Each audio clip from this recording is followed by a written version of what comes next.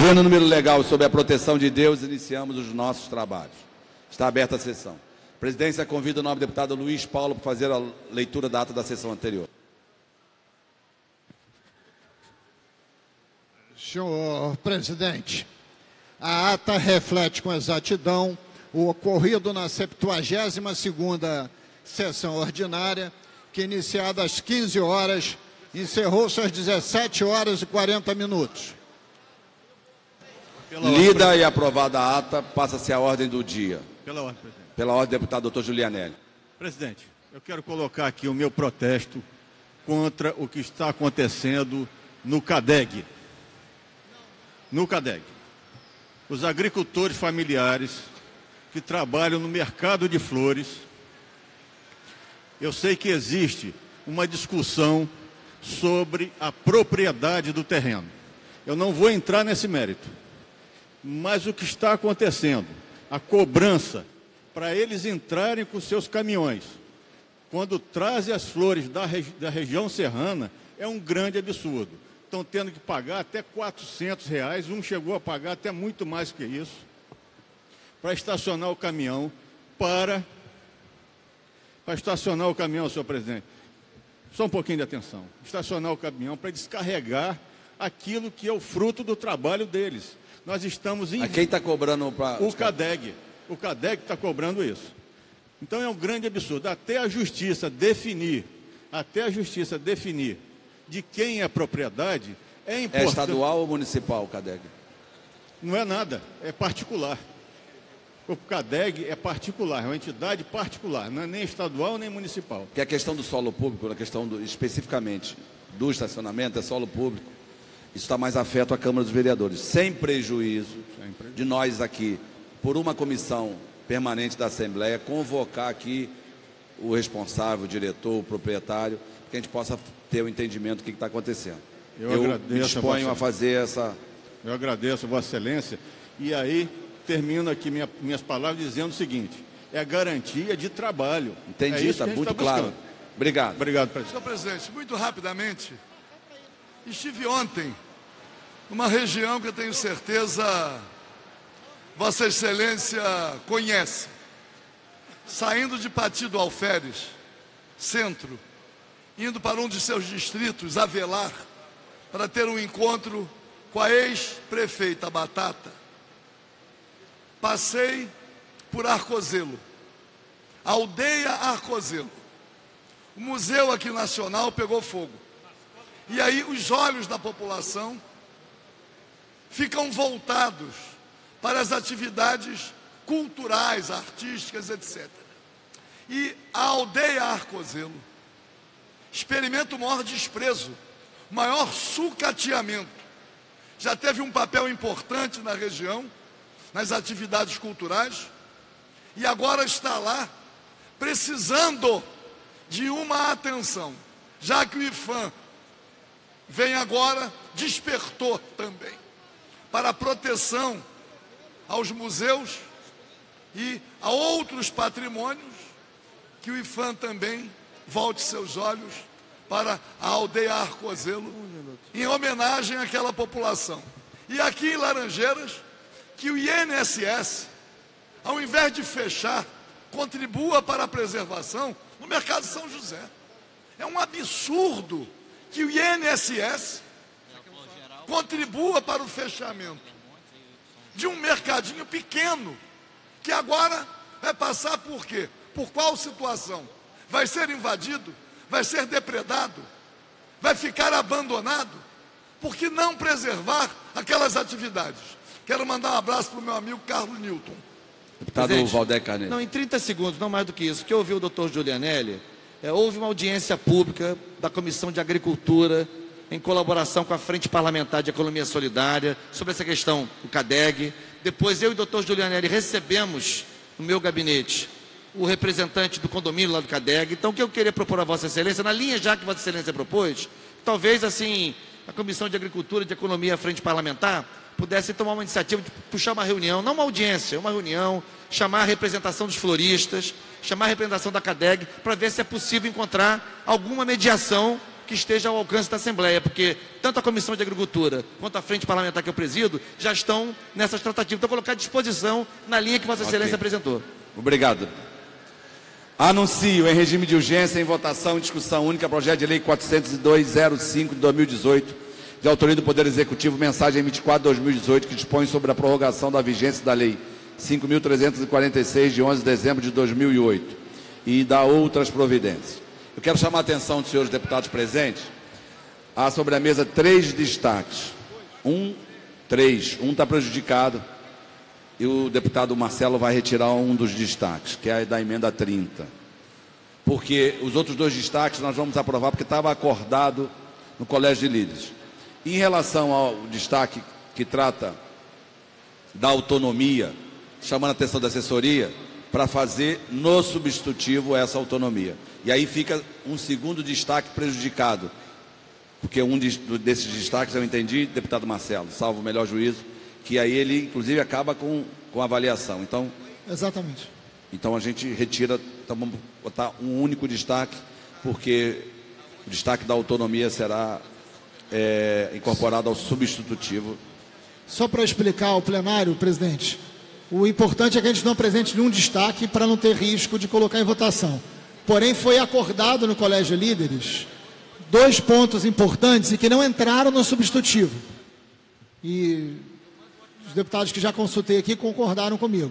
Eu um sou, deles. Eu sou testemunha que todos dois foram acordados. Um deles diz respeito à avaliação socioeconômica para que a gente garantisse a autonomia das universidades nessa avaliação. Exatamente. Isso precisa entrar no substitutivo, já está entendido, vai entrar, eu retiro o destaque. Presidente. E por fim, deputados e deputadas, o, o mais importante diz respeito ao acúmulo de bolsas. Um aluno cotista, ele tem que ter o direito de ser também, de ter iniciação científica. Isso, FAPERJ no CNPq. FAPERJ, CAPES. Isso tinha sido monitoria, isso tinha sido acordado no Colégio de Líderes e não entrou no texto substitutivo. Então precisa ser garantido, como já foi acordado, é só ser acatado o destaque, mas a gente garante isso no texto, realmente que é o acúmulo foi, de bolsas. Foi acordado realmente. Então, isso acordado, a gente aprova o projeto por unanimidade, sem problema. Então, deixa, deixa eu seguir aqui, porque tem que ler aqui os pareceres. Em seguida, após a votação, a gente abre. Pareceres das comissões de Constituição e Justiça pela condicionalidade. Educação favorável. Combate às discriminações e preconceito de raça, cor, etnia, religião e procedência nacional favorável com emendas de defesa dos direitos humanos e cidadania favorável com emendas, de pessoas com deficiência favorável com emendas, de servidores públicos favorável favorável, de segurança pública, saúde de polícia favorável, defesa civil favorável, com voto em separado contrário deputado Flávio Bolsonaro, relator original, ciência e tecnologia favorável com emendas e de orçamento, finanças, fiscalização financeira e controle favorável. Novos pareceres às emendas de plenário das comissões de Constituição e Justiça, favorável às emendas número 12, 20, 37, 40, 48, 52, 55, 59, 61, 66, 72, 79, 93, 95 e 100. Favorável com subemenda às emendas de número 7, 70, 84, 89. Favorável com subemendas aglutinativas às emendas número 6, 39, 54, 82, 92, 35, 57 e 71. 0, 8, 18, 41, 53, 60, 73 e 94. 9, 22, 42, 44, 51, 58 74. Contrários aos demais emendas, concluído por substitutivo. De educação favorável ao substitutivo da Comissão de Constituição e Justiça. De combate às discriminações, preconceito de raça, cor, religião, etnia, religião e procedência nacional. Favorável com o substitutivo da Comissão de Constituição e Justiça. Defesa dos direitos humanos Cidadania favorável com o substitutivo da Comissão de Constituição e Justiça. Da pessoa com deficiência favorável com o substitutivo da CCJ. Servidores públicos favorável com o substitutivo da CCJ. Segurança Pública e Assuntos de Polícia favorável com substitutivo da CCJ. Com voto contrário, deputado Flávio Bolsonaro. De Defesa Civil, contrário. De Ciência e Tecnologia, favorável com substitutivo da CCJ. E de Orçamento, Finanças, Fiscalização Financeira e Controle, favorável com o substitutivo da CCJ. Relatores, deputados André Lazzaroni, André Lazzaroni, Carlos Mink, Marcelo Freixo, Márcio Pacheco, Nivaldo Mulim, Marta Rocha, Paulo Ramos, relator do vencido, Valdec Carneiro, Conte Bittencourt, André Lazzaroni, André Lazzaroni, Carlos Mink, Marta Rocha, Márcio Pacheco, Nivaldo Mulim, Marta Rocha, Flávio Bolsonaro, Valdec e Luiz Martins. Em votação substitutiva, os senhores que aprovam isso como estão, aprovada. Em salvos destaques. A sobremesa, requerimento de destaques. Deputado Marcelo, retirou a 30. A da Bolsa é? Do acúmulo de bolsas, emenda 34. Então, a sobremesa, requerimento de destaque, a emenda número 34. Seus que aprovam nessa comissão, aprovado. Em votação, a matéria destacada. Seus que aprovam nessa comissão, aprovado. O requerimento de destaque, a emenda 33, está prejudicada, porque vai ser incluída no substitutivo. Garante a autonomia das universidades, né? Isso. Para a declaração de voto, Flávio Serafim, seguida Carlos Mink. Luiz Paulo. Ah, não votou, não votou o final. Já votou. Já votou? projeto assim. Votou, votou a matéria votou e votou a matéria destacada. Seus que aprovam não estão aprovados. Então, está, estão inscritos. Vai ser incorporado o, o texto, vai autógrafo. Estão inscritos Flávio Serafim, Mink, Luiz Paulo, Márcio Pacheco, Valdec. Senhor presidente, mais uma vitória do movimento estudantil, da comunidade universitária. O Rio de Janeiro aprova a renovação da lei de cotas.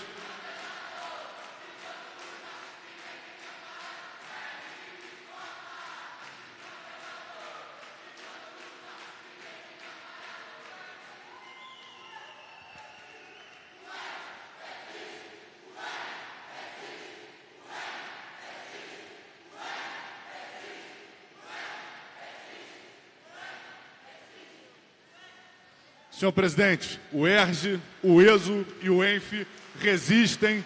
Parabéns pela luta do movimento estudantil e de toda a comunidade universitária. A gente renova a lei de cotas no estado do Rio de Janeiro, essa lei tão importante que significou um exemplo nacional de democratização do acesso ao ensino superior, de política de reparação contra os séculos de racismo que a gente enfrenta no nosso país. Todos aqueles e aquelas que se mobilizaram para que a gente renovasse a aprovação dessa lei estão de parabéns. Essa lei nos ajudou a avançar nas políticas de permanência dos estudantes nas universidades, consolidando uma política de assistência estudantil que ainda é incompleta, mas que nós vamos avançar cada vez mais. Quando a gente aprova nessa casa o passe livre também para os estudantes universitários, a gente está caminhando nesse sentido. É uma luta inacabada mas é uma luta necessária e fundamental. A UERJ foi a primeira universidade desse país a enegrecer. Depois disso, muitas outras começaram a passar pelo mesmo processo e a gente quer que seja assim ainda mais. É nesse sentido, senhor presidente, que eu gostaria de dizer. Eu defendi o tempo inteiro, nos debates sobre a renovação da lei de cotas, que a gente deveria manter o ponto da redação original que previa a ampliação das cotas também no sistema de pós-graduação.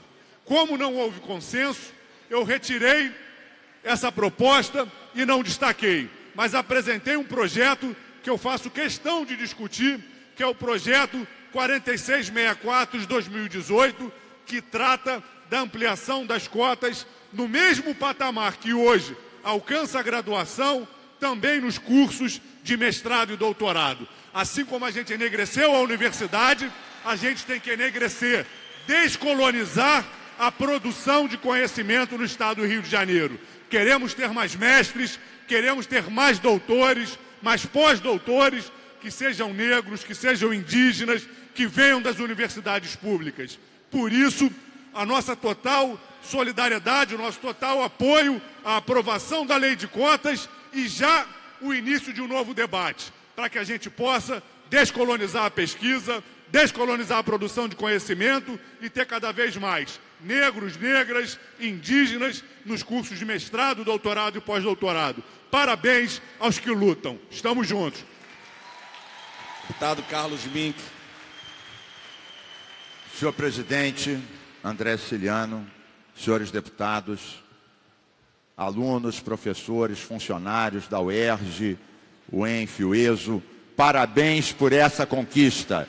Estamos orgulhosos de vocês terem impulsionado essa renovação. Amigos e amigas, nós participamos da primeira lei de cotas. Naquela época, a resistência foi muito maior do que era hoje. O argumento dos elitistas, dos direitistas, dos racistas, é que a lei de cotas ia abaixar o nível acadêmico, ia diminuir a qualidade da academia. Nós realizamos recentemente, junto com o DCE e a reitoria, uma audiência na capela. Os estudos feitos mostram que não diminuiu um único ponto a lei de cotas. Se manteve a qualidade acadêmica. Isso calou a boca daqueles que esse pretexto para manter a universidade elitizada para uma classe, para uma cor.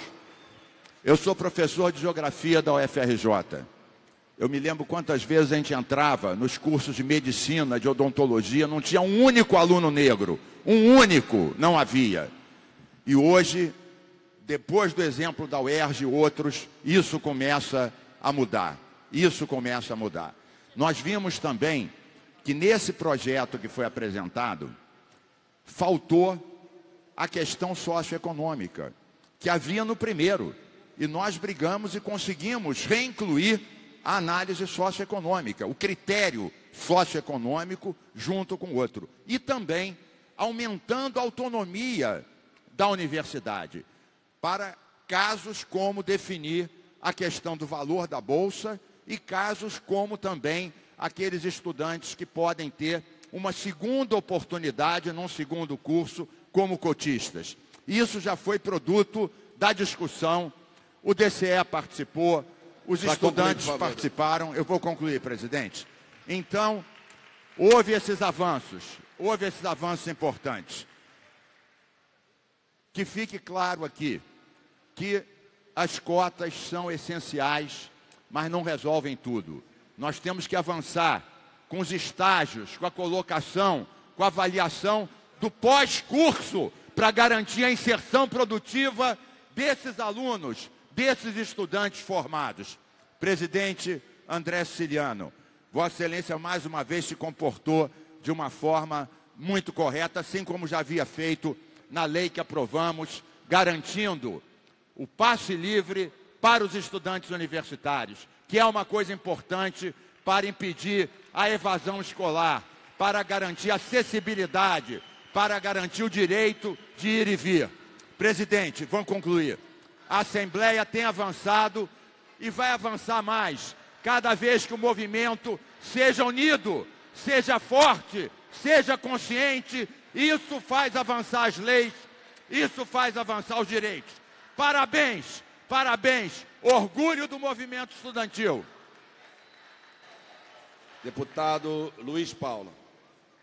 Seguido, deputado Márcio Pacheco, Valdeca, enfermeira, Pedro Fernandes, Zaqueu Teixeira. Senhor presidente, declaração de voto deve ser feita em cinco minutos. Em três minutos. Três. Então, quero que Vossa Excelência me dê o tempo que Vossa Excelência deu ao deputado Carlos Mink, que foi 30 minutos. 30 minutos. Primeiro, ué, eu contei, 30 minutos. O deputado Carlos Mink teve. Carlos Mink.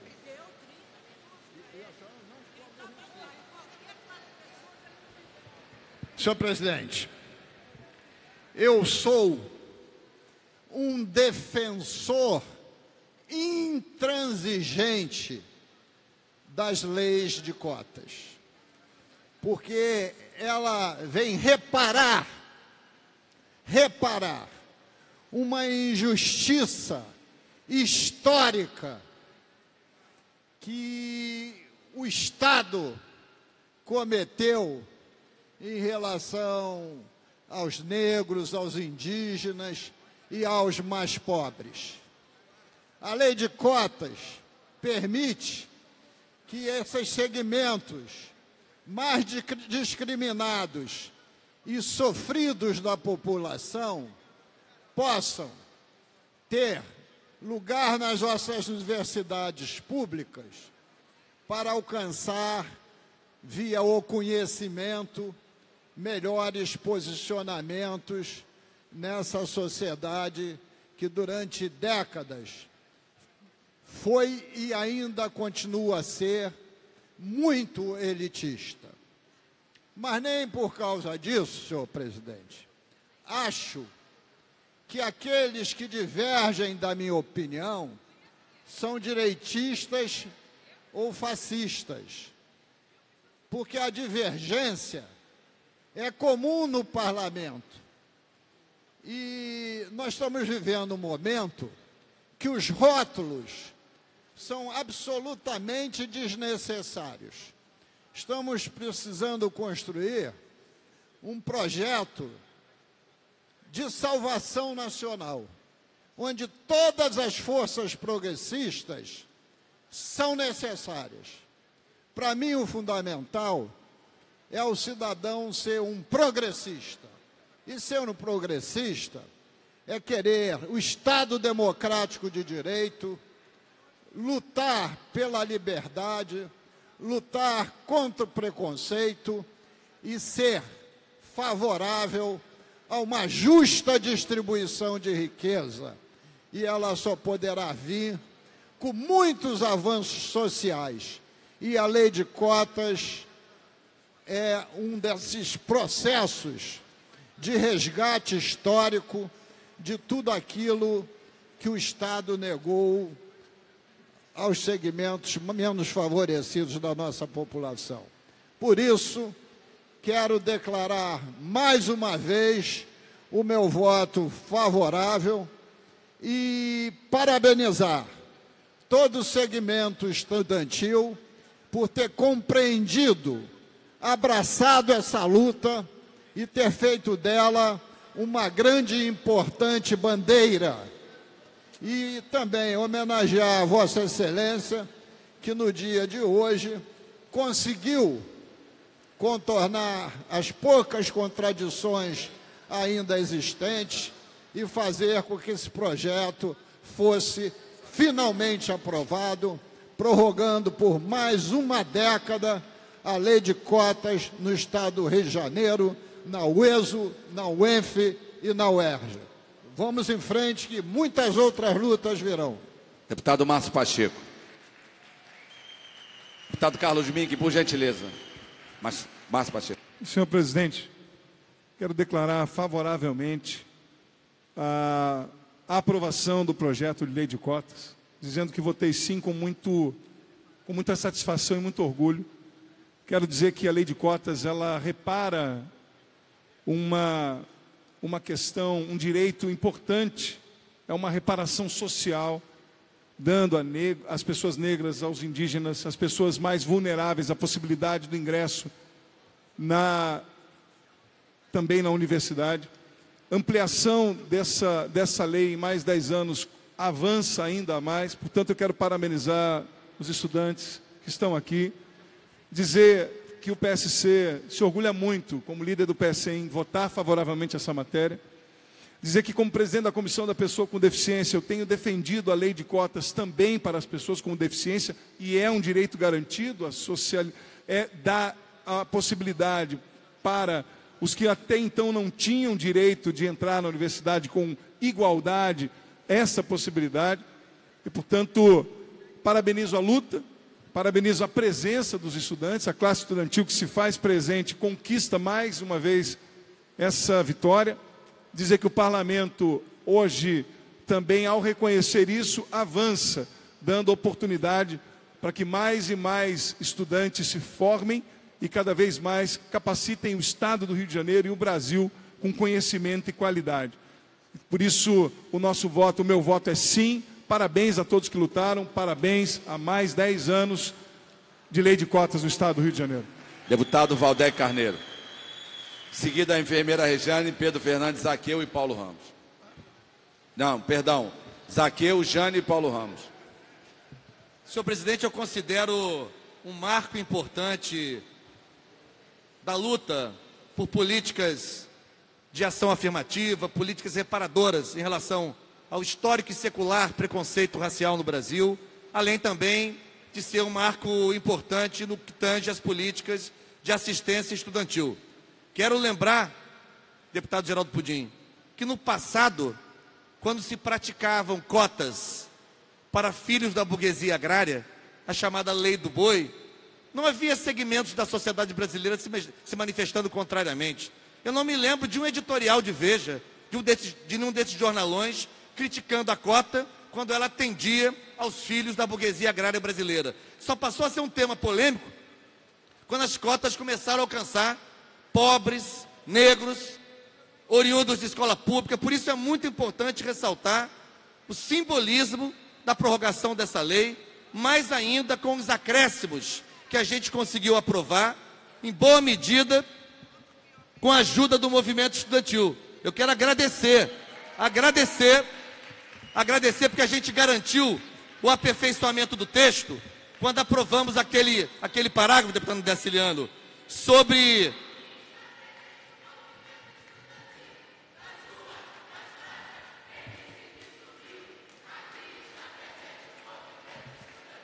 E ainda bem que está presente o movimento estudantil, porque a gente conseguiu melhorar o texto da lei, melhorar o texto da lei em relação à questão da segunda graduação pelo sistema de cotas.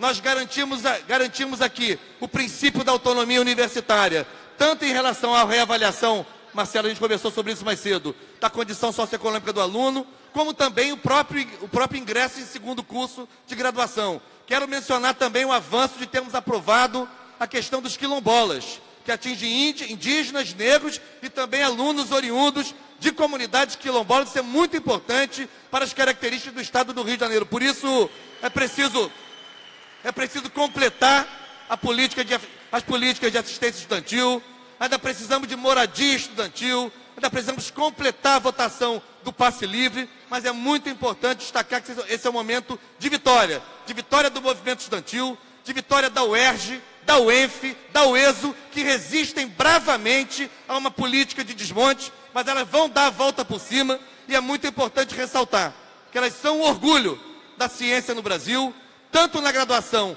quanto na pós-graduação, é preciso democratizar o acesso. Por isso, essa lei de hoje confirma um princípio fundamental. E também, e também, não nos bastam as cotas, deputado Márcio Pacheco, deputado Marcelo Freixo. Não nos bastam as cotas. É preciso que, simultaneamente, a vigência das cotas, o Estado do Rio de Janeiro tome vergonha na cara e recupere a sua rede de educação pública básica, recupere a sua rede FAETEC, de maneira que no futuro, no futuro, não seja mais necessário cota, que os alunos das escolas públicas terão condições plenas de acesso ao ensino superior público gratuito e de qualidade social. Viva o ERJ! viva o ENF, viva o ESO e seus movimentos sociais pela vitória de hoje. Deputada enfermeira Rejane.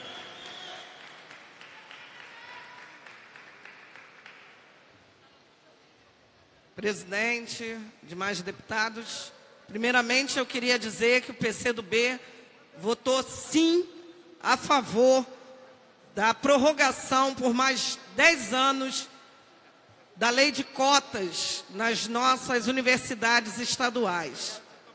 Mas queria dizer mais, senhor presidente. Queria dizer que, da mesma forma que nós temos hoje um incêndio criminoso dentro do museu aqui no Rio de Janeiro, a mesma coisa tentou se fazer e até hoje tenta se fazer com as nossas universidades estaduais que é asfixiar as universidades públicas para acabar com o ensino público gratuito e de qualidade no estado do Rio de Janeiro. Por isso, é importante essa grande vitória que foi feita aqui na data de hoje, dentro da Casa Legislativa, que é a vitória do corpo docente, do corpo discente, do corpo técnico administrativo das universidades mas também de toda a sociedade, porque garantir cotas para negros, para índios, significa a inclusão social da maioria da nossa população.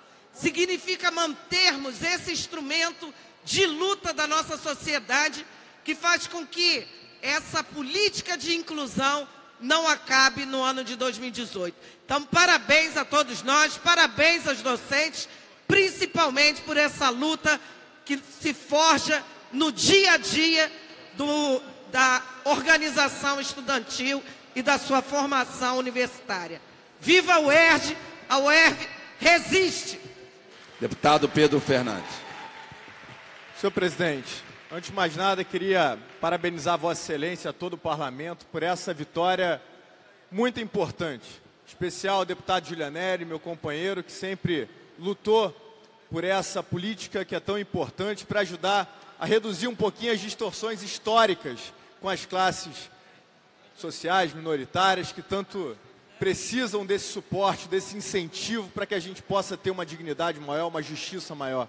Eu quero muito parabenizar a todos os estudantes aqui presentes, porque eu sempre fui favorável a essa ideia e defenderia naturalmente.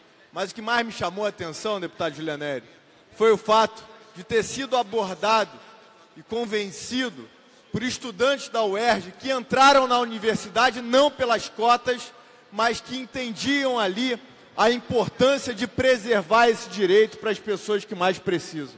Eu queria dar meus parabéns para vocês e dizer que estou aqui defendendo esse projeto porque fui sensibilizado pela importância que tem, mas principalmente pela atitude que os alunos tiveram nesse ato de grandeza.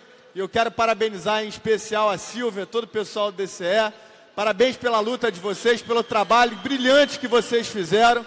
E é isso, vamos resistir, viva o ERJ, viva o ENF, viva o ESO. Obrigado, senhor presidente. Deputados aqui, antes, porém, estão presentes aqui no plenário a nossa deputada Cida Diogo e o deputado Robson Leite. Sejam bem-vindos. Deputado Zaqueu. Senhor presidente, declarar aqui o nosso voto sim à matéria. Cumprimentar aqui todos os alunos que aqui estão. Dizer que travei uma luta muito grande neste plenário no mandato passado, para que pudéssemos prorrogar as cotas para pós-graduação, e aí pós-graduação lato senso e mestrado e doutorado. Uma luta árdua que aprovamos e a UERJ colocou em prática quando abriu os próximos editais. Hoje, participar aqui da aprovação da prorrogação das cotas é uma satisfação muito grande. E ver incorporado nesta prorrogação a lei que nós aprovamos no mandato passado nos dá a certeza e a garantia de que é uma política acertada, a política de cotas, é uma reparação que estamos fazendo. Quero parabenizar aqui a todos os alunos que se mobilizaram para que tivéssemos essa aprovação em tempo recorde. Presidente, parabéns pela sua condução, parabéns a todos os alunos que aqui estão. Um grande abraço. Obrigado, deputados aqui. O próximo orador fazer a declaração é o deputado Jânio Mendes. Senhor presidente, Quero parabenizar aqui os alunos da UERJ todos aqueles que se mobilizaram para a aprovação eh, desta lei que prorroga a política de cotas nas universidades estaduais do Rio de Janeiro. Dizer do avanço que a gente teve com a professora Tânia na discussão da questão dos refugiados, que ganharão um projeto específico, mas queria deixar a própria UERJ já está trabalhando nisso. Mas queria aproveitar esta fala para deixar aqui o meu desagravo. A doutora Valéria Santos, mulher negra, advogada, que foi violentamente agredida nas suas prerrogativas durante uma audiência no Juizado Especial Criminal de Duque de Caxias.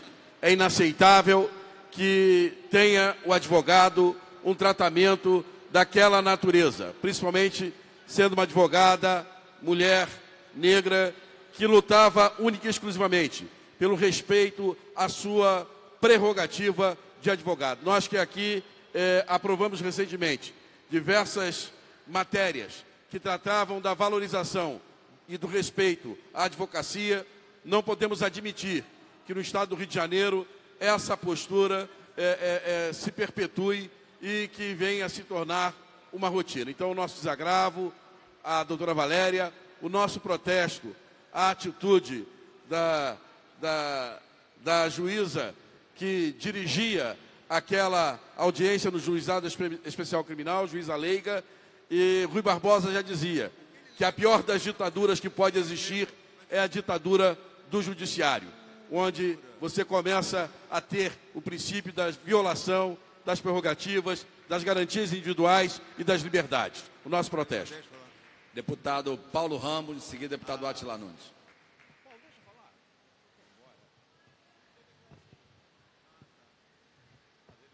Senhor presidente, primeiro, como advogado que sou, manifestar a minha solidariedade e a minha concordância com a manifestação do deputado Jânio Mendes.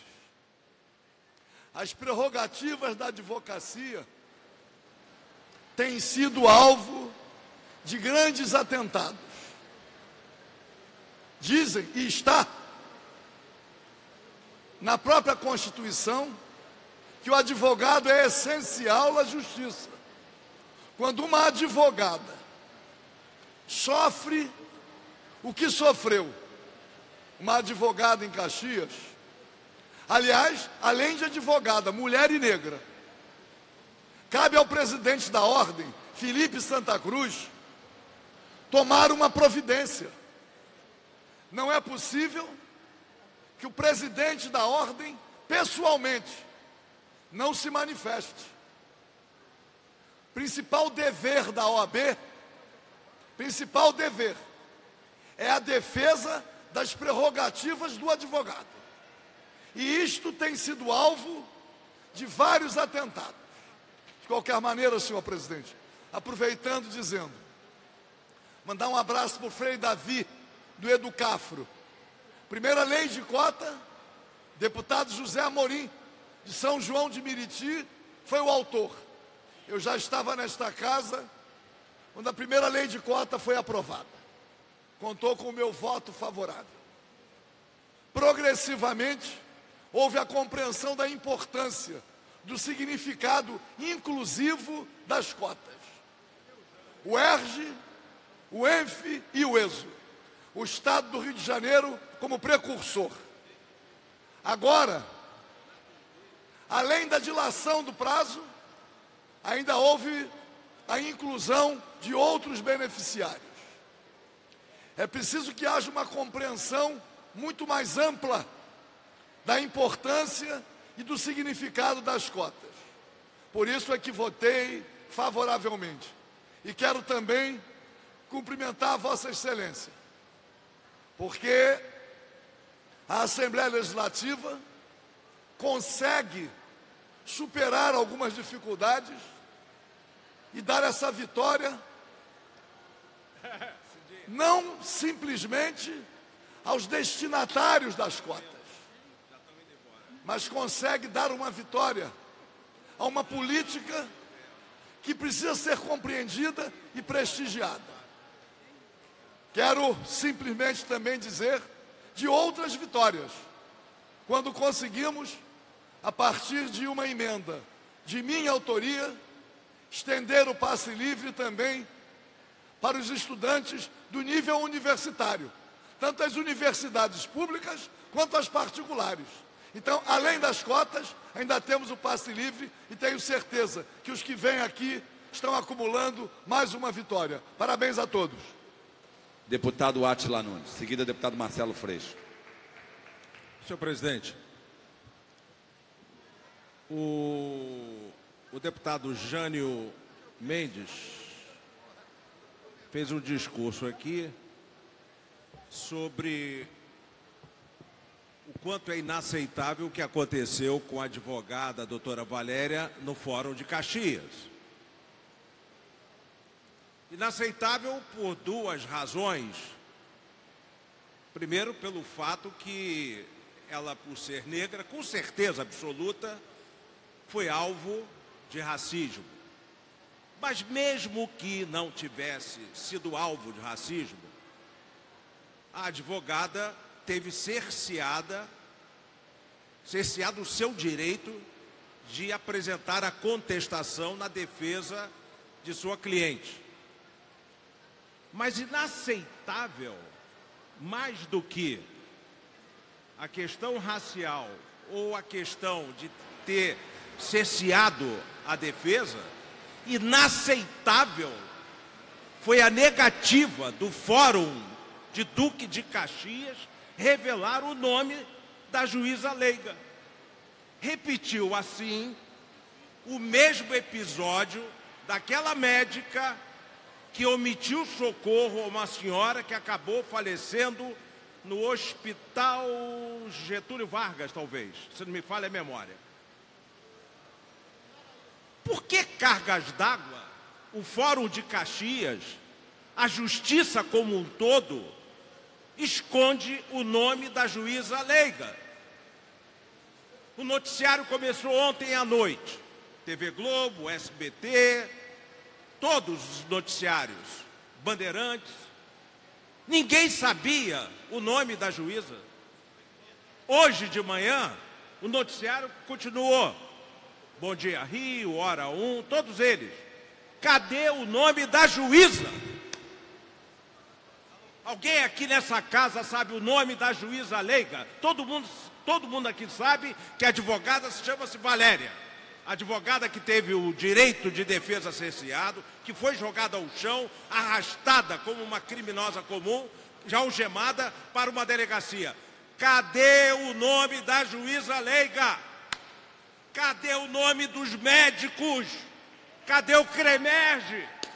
Cadê o sindicato dos médicos, doutor Darzi? Vocês se protegem.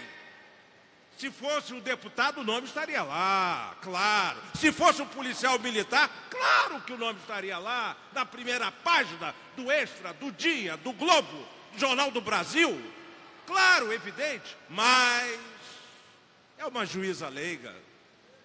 Mas é um médico, e aí ninguém pode absolutamente citar o nome da juíza ou do médico. Então, inaceitável, meu querido Jane, inaceitável. É esse tipo de tratamento que se dá a esses sim, os verdadeiros poderosos do país, essas castas privilegiadas que cometem barbaridades, irregularidades e continuam impunes. E pior, nós não sabemos o nome do que, de quem os cometeu. Obrigado, senhor presidente. Deputado Marcelo Freixo, em seguida, deputada Cidinha Campos.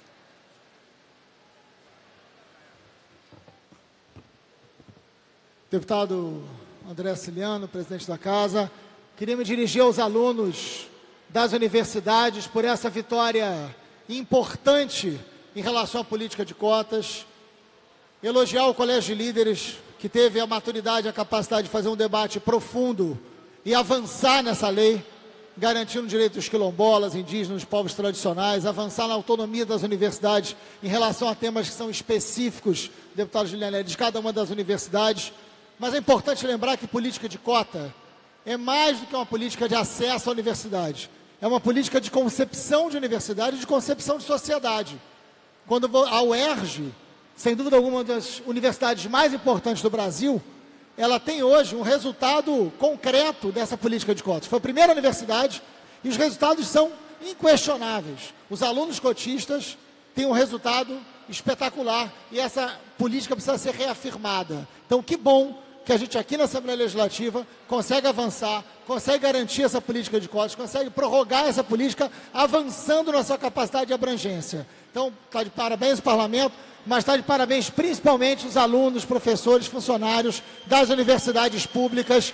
Parabéns ao ERJ, ao ESA, ao ENF, ao ERJ tão sucateada por esse governo do PMDB nos últimos anos, ao ERJ tão massacrada, ao ESO tão massacrada, ao ENF tão massacrada. Que bom que no final desse governo, onde o Cabral está preso, onde o atual governador provavelmente se dirigirá ao mesmo destino, a gente tem uma vitória tão importante da universidade. Parabéns a todas e todos por essa conquista e esse parlamento. Obrigado, presidente. Deputada Cidinha Campos.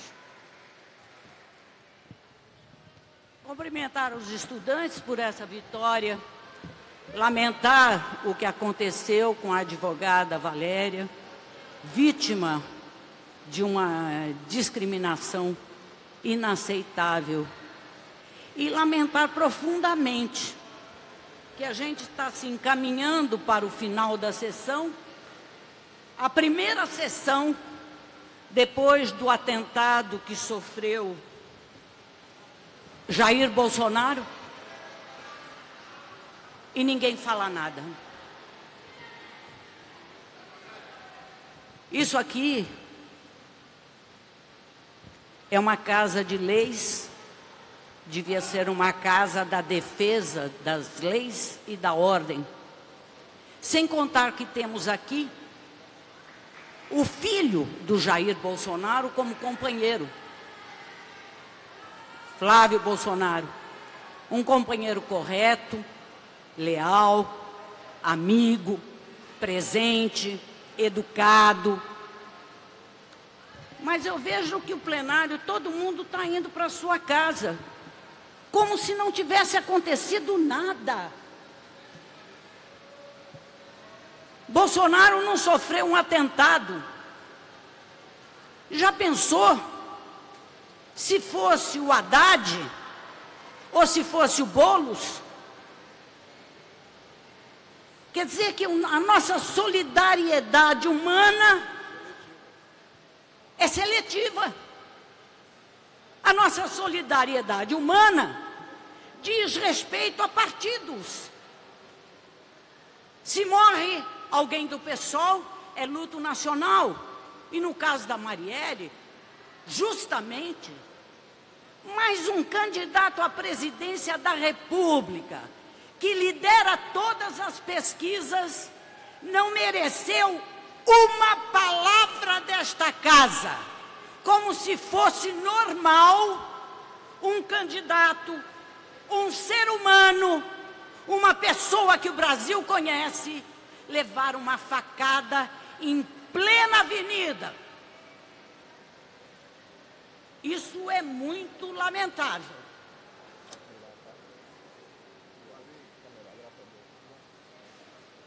Isso é lamentável. Isso aqui não é uma facção do povo brasileiro.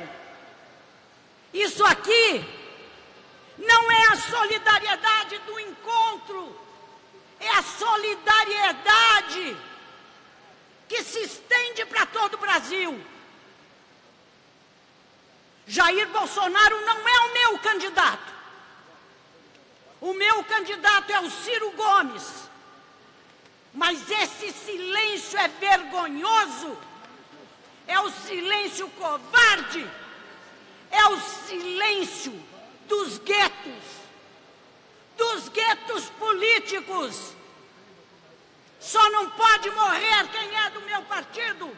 Só não pode ser esfaqueado quem é do meu partido.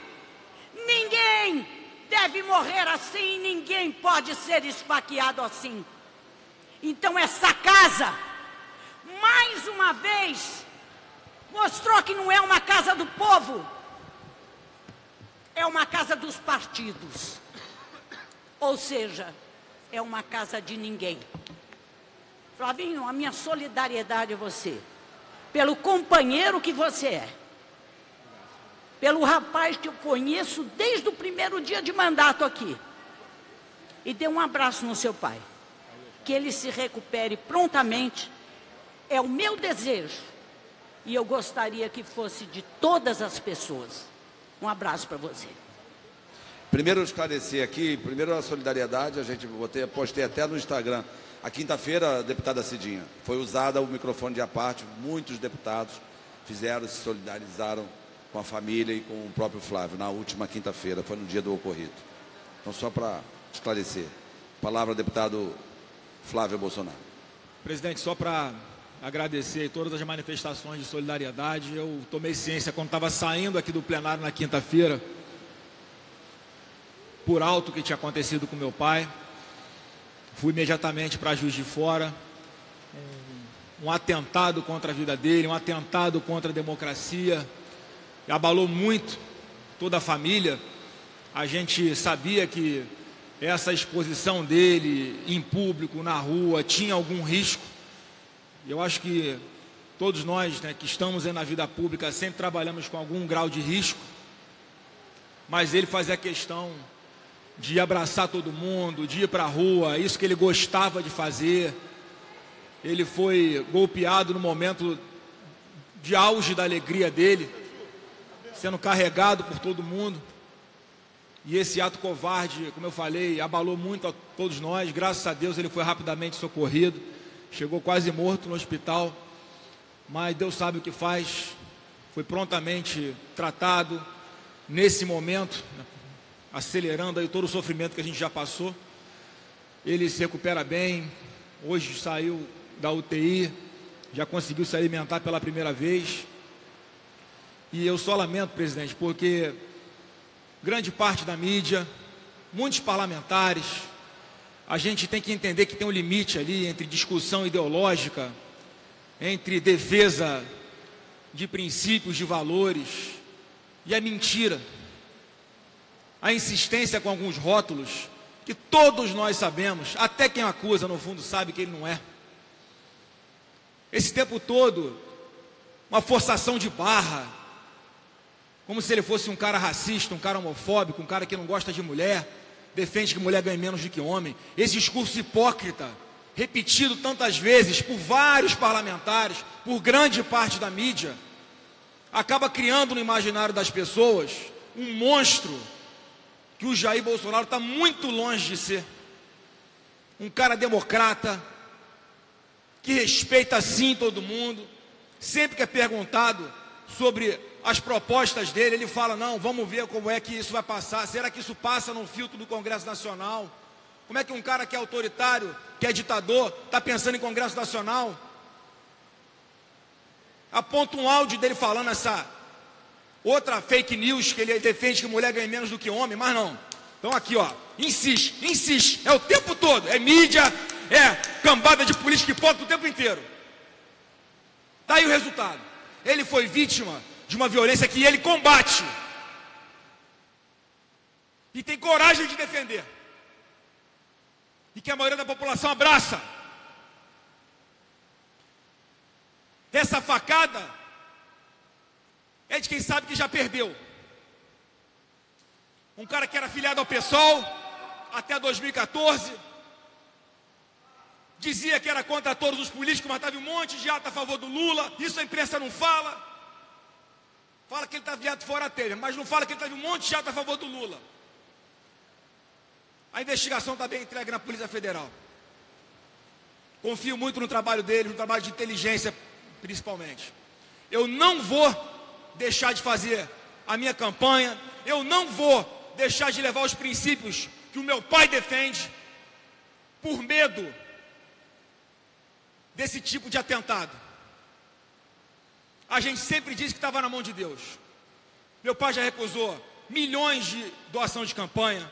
Nós já recusamos jatinho, helicóptero particular, tudo que você possa imaginar.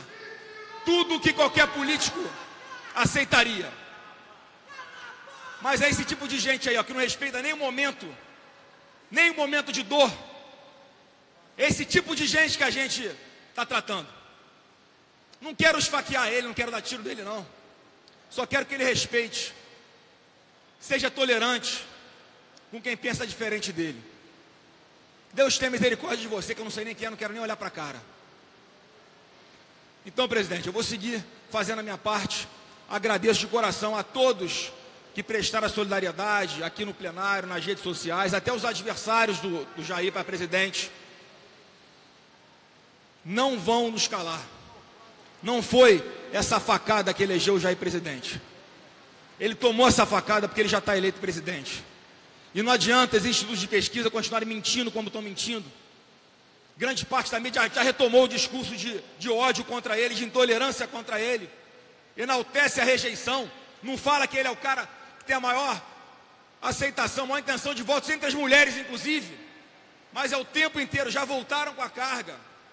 Está sendo muito duro para a gente além de passar todo esse momento em relação a, a, ao risco da saúde dele, já ter que retomar agora uma campanha no meio desse clima todo, e ainda assim, tão rapidamente, já voltar a ter esse tratamento por parte das pessoas que não admitem o crescimento dele, que se dizem democratas apenas da boca para fora. Então, desculpa o desabafo, presidente. Tá, mas é, eu agradeço mais uma vez a todo mundo que manifestou o apoio Está muito claro que eles são os intolerantes.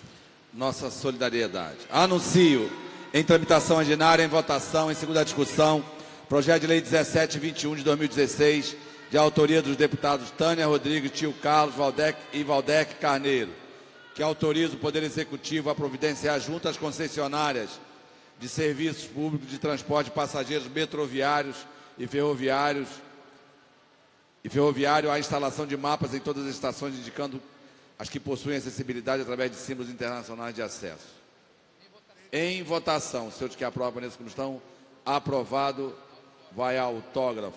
Anuncio em segunda discussão, redação do vencido, projeto de lei 1067-A de 2015, de autoria do deputado Wagner Montes, que institui o programa educacional de prevenção ao, ao uso abusivo de álcool e outras drogas no âmbito do Estado do Rio de Janeiro e da outras providências. Em discussão, não havendo que queira discutir, encerrada a discussão, em votação, senhores que aprovam nessa comissão, aprovado vai autógrafo. Quer declarar, deputado? Anuncio em segunda discussão projeto de lei 4108 de 2018, de autoria do deputado Luiz Paulo André Siciliano e Paulo Ramos, que altera a lei 3.189 de 22 de fevereiro de 99, que institui o Fundo Único de Previdência Social do Estado do Rio de Janeiro, Rio Previdência, e dá outras providências. Em discussão, não havendo que queira discutir, encerra a discussão em votação, os senhores que aprovam nessa comissão, aprovado, vai autógrafo para a declaração, o autor, deputado Luiz Paulo. Primeiro, senhor presidente, é que há duas sessões seguidas, Marquinho, há duas sessões seguidas que eu solicito incluir o nome do deputado Valdec Carneiro como coautor. Já está aprovado e o nome não é incluído. Então, por favor, já que está aprovado agora. A segunda. Está publicado, mas não entra aí. Segundo, senhor presidente, visa esse projeto,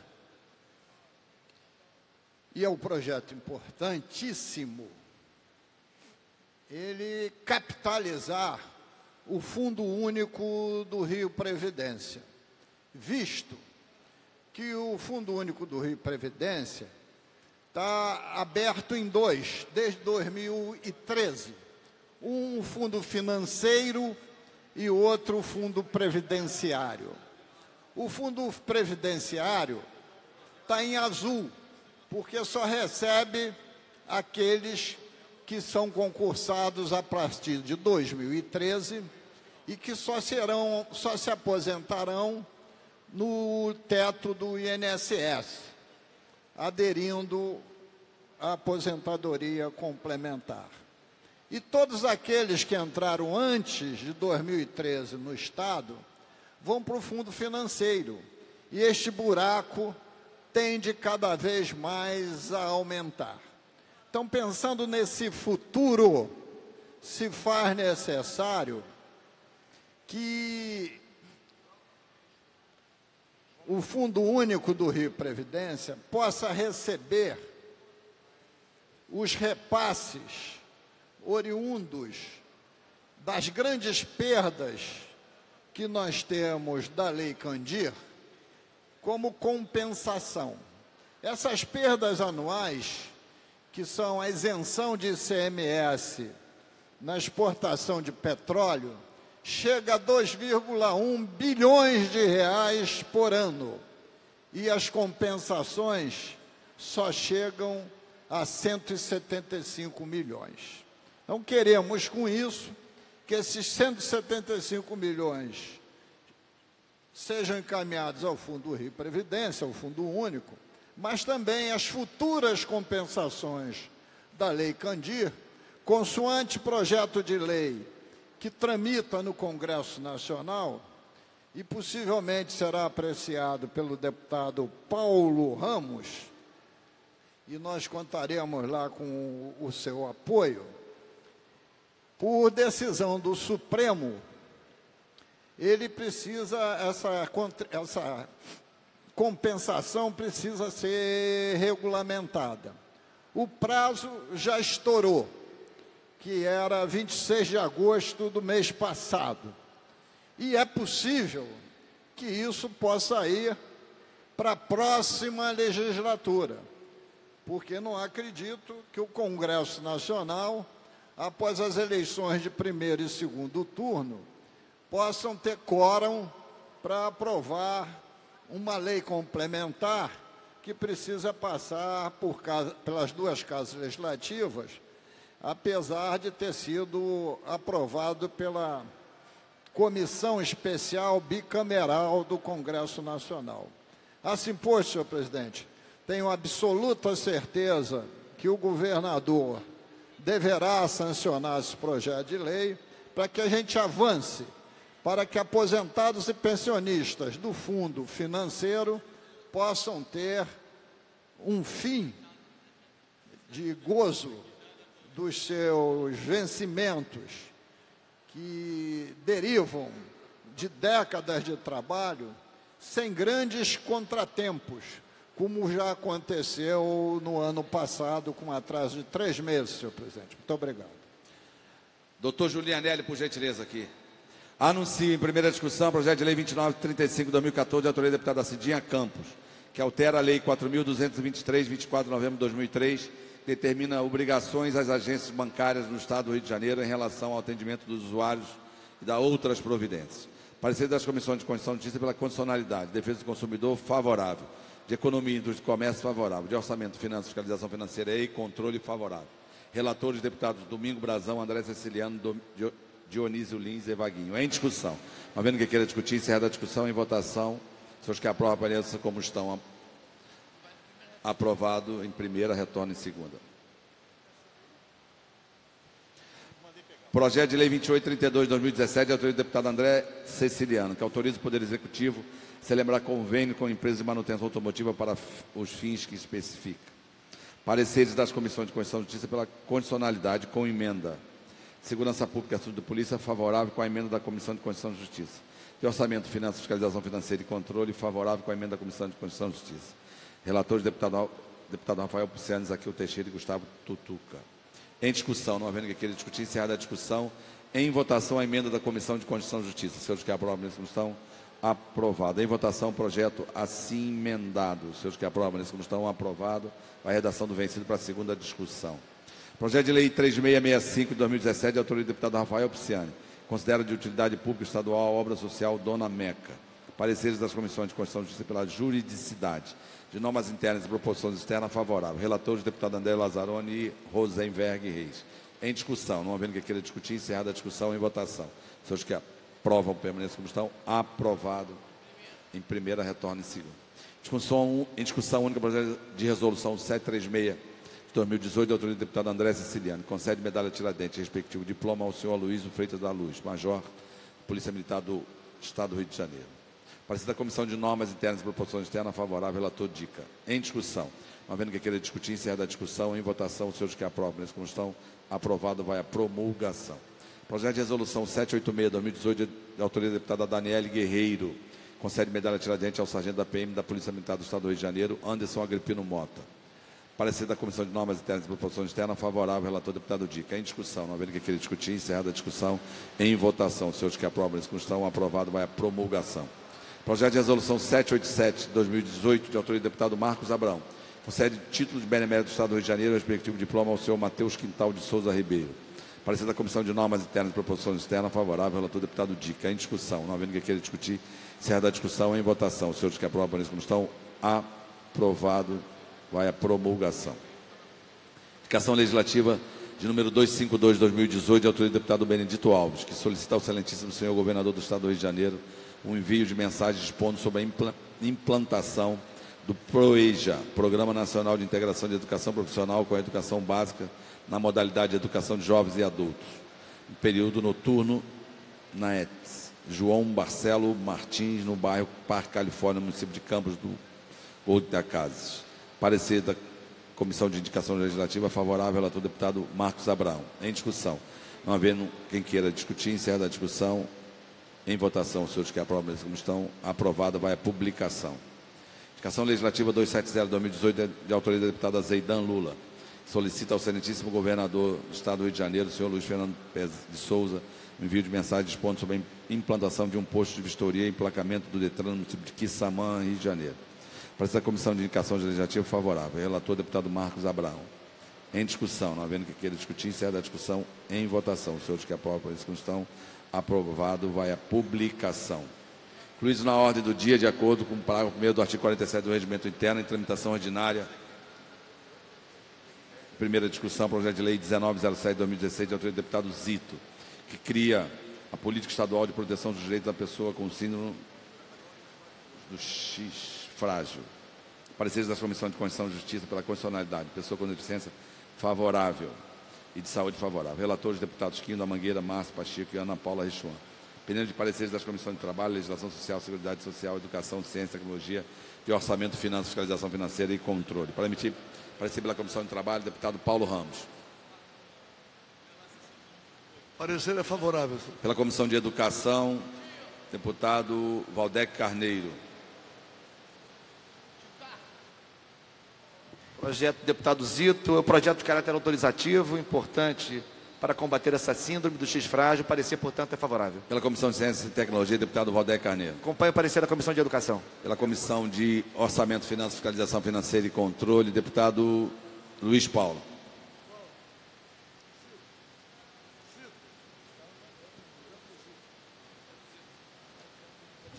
Senhor presidente, PL 1907-16, deputado Zito, cria a política estadual de proteção dos direitos da pessoa com síndrome do X frágil. Parecer pela Comissão de Orçamento no mérito favorável. Com os pareceres emitidos em discussão, não havendo que queira discutir, encerra a discussão em votação. Senhores que aprovam isso como estão, aprovado em primeira, retorna em segunda. Há sobre a mesa requerimento de inclusão em pauta. Requer a inclusão na ordem do dia do projeto de lei 3388 de 2017. Deputado Dr. Julianelli. Senhores que aprovam como estão, aprovado. Requer a inclusão na ordem do dia projeto de lei 4324 de 2018. Dr. Julianelli. Senhores que aprovam como estão, aprovado. Requer a inclusão na ordem do dia do PL 4184 de 2018. Deputado Paulo Ramos. Os senhores que aprovam como estão, aprovado. Requer a inclusão na ordem do dia do PL 3856 de 2018. Deputado Acidinha Campos. Os senhores que aprovam como estão, aprovado. Requer a inclusão na ordem do dia do PL 3422 2017. Seus que aprovam, deputado Valdec Carneiro. Seus que aprovam essa comissão, aprovado. Nada mais havendo a tratar na ordem do dia, passa a ser o expediente final. O primeiro orador escrito é o deputado Luiz Paulo.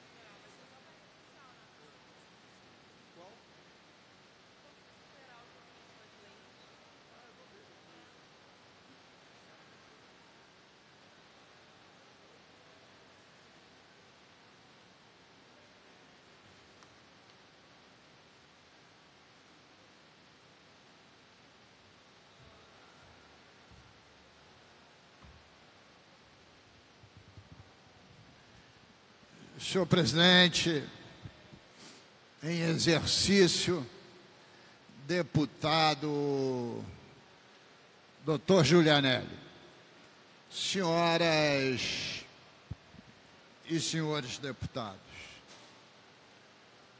no justo momento que eu tive conhecimento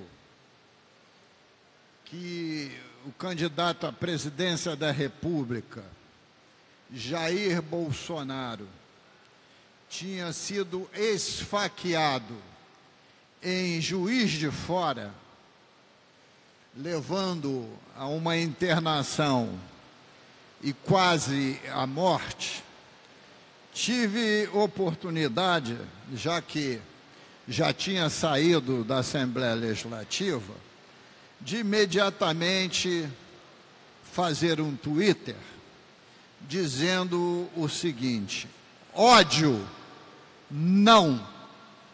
Respeito à vida. Banir da política toda e qualquer violência. punir o culpado. A facada em Bolsonaro é inaceitável. Não estou só registrando, porque me posicionei como me posiciono sobre tudo. Porque sou um defensor intransigente do Estado democrático de direito, das liberdades, da social-democracia, da luta contra a discriminação. E neste momento, na política, o equilíbrio, ou como dizia o filósofo Lao Tse, o caminho do meio, e entenda, deputado doutor Giulianelli, que o meio de Lao Tse é a verdade, o caminho do meio é dificílimo, porque só os extremos é que conseguem o aplauso da mídia e de parcela da sociedade. E eu jamais poderia deixar de me pronunciar contra qualquer violência, principalmente a covardia, que é o, a tônica da violência. Deputado Flávio Bolsonaro é nosso companheiro aqui na casa. Temos divergências, muitas vezes profundas, mas é um bom parlamentar, sempre presente e merece, mesmo nas discordâncias, o nosso respeito e a nossa solidariedade. E isso o fiz no dia que ocorreu a, a infeliz tentativa de homicídio. E quero profundamente que ele se recupere o mais rápido possível para que volte a lide política a tempo ainda de fazer a campanha e lutar pelos princípios que ele defende. E eu continuarei a defender os princípios social-democratas. Porque algumas vezes, senhor presidente, alguns que se acham de esquerda, e não é o caso de Vossa Excelência, que é um homem equilibrado e adepto da filosofia de Lao Tse, de buscar o caminho da verdade, mas alguns que se julgam de esquerda, porque muitas vezes leram duas orelhas de livro, ou do Marx, ou do Engels, ou do Lenin, só duas orelhas de livro, começam a discriminar aqueles que não pensam igual a si. Vide, por exemplo, o caso do Lula. Eu não discuto com quem acha que o Lula é inocente, com que o Lula está preso injustamente. Não discuto mais. Por quê?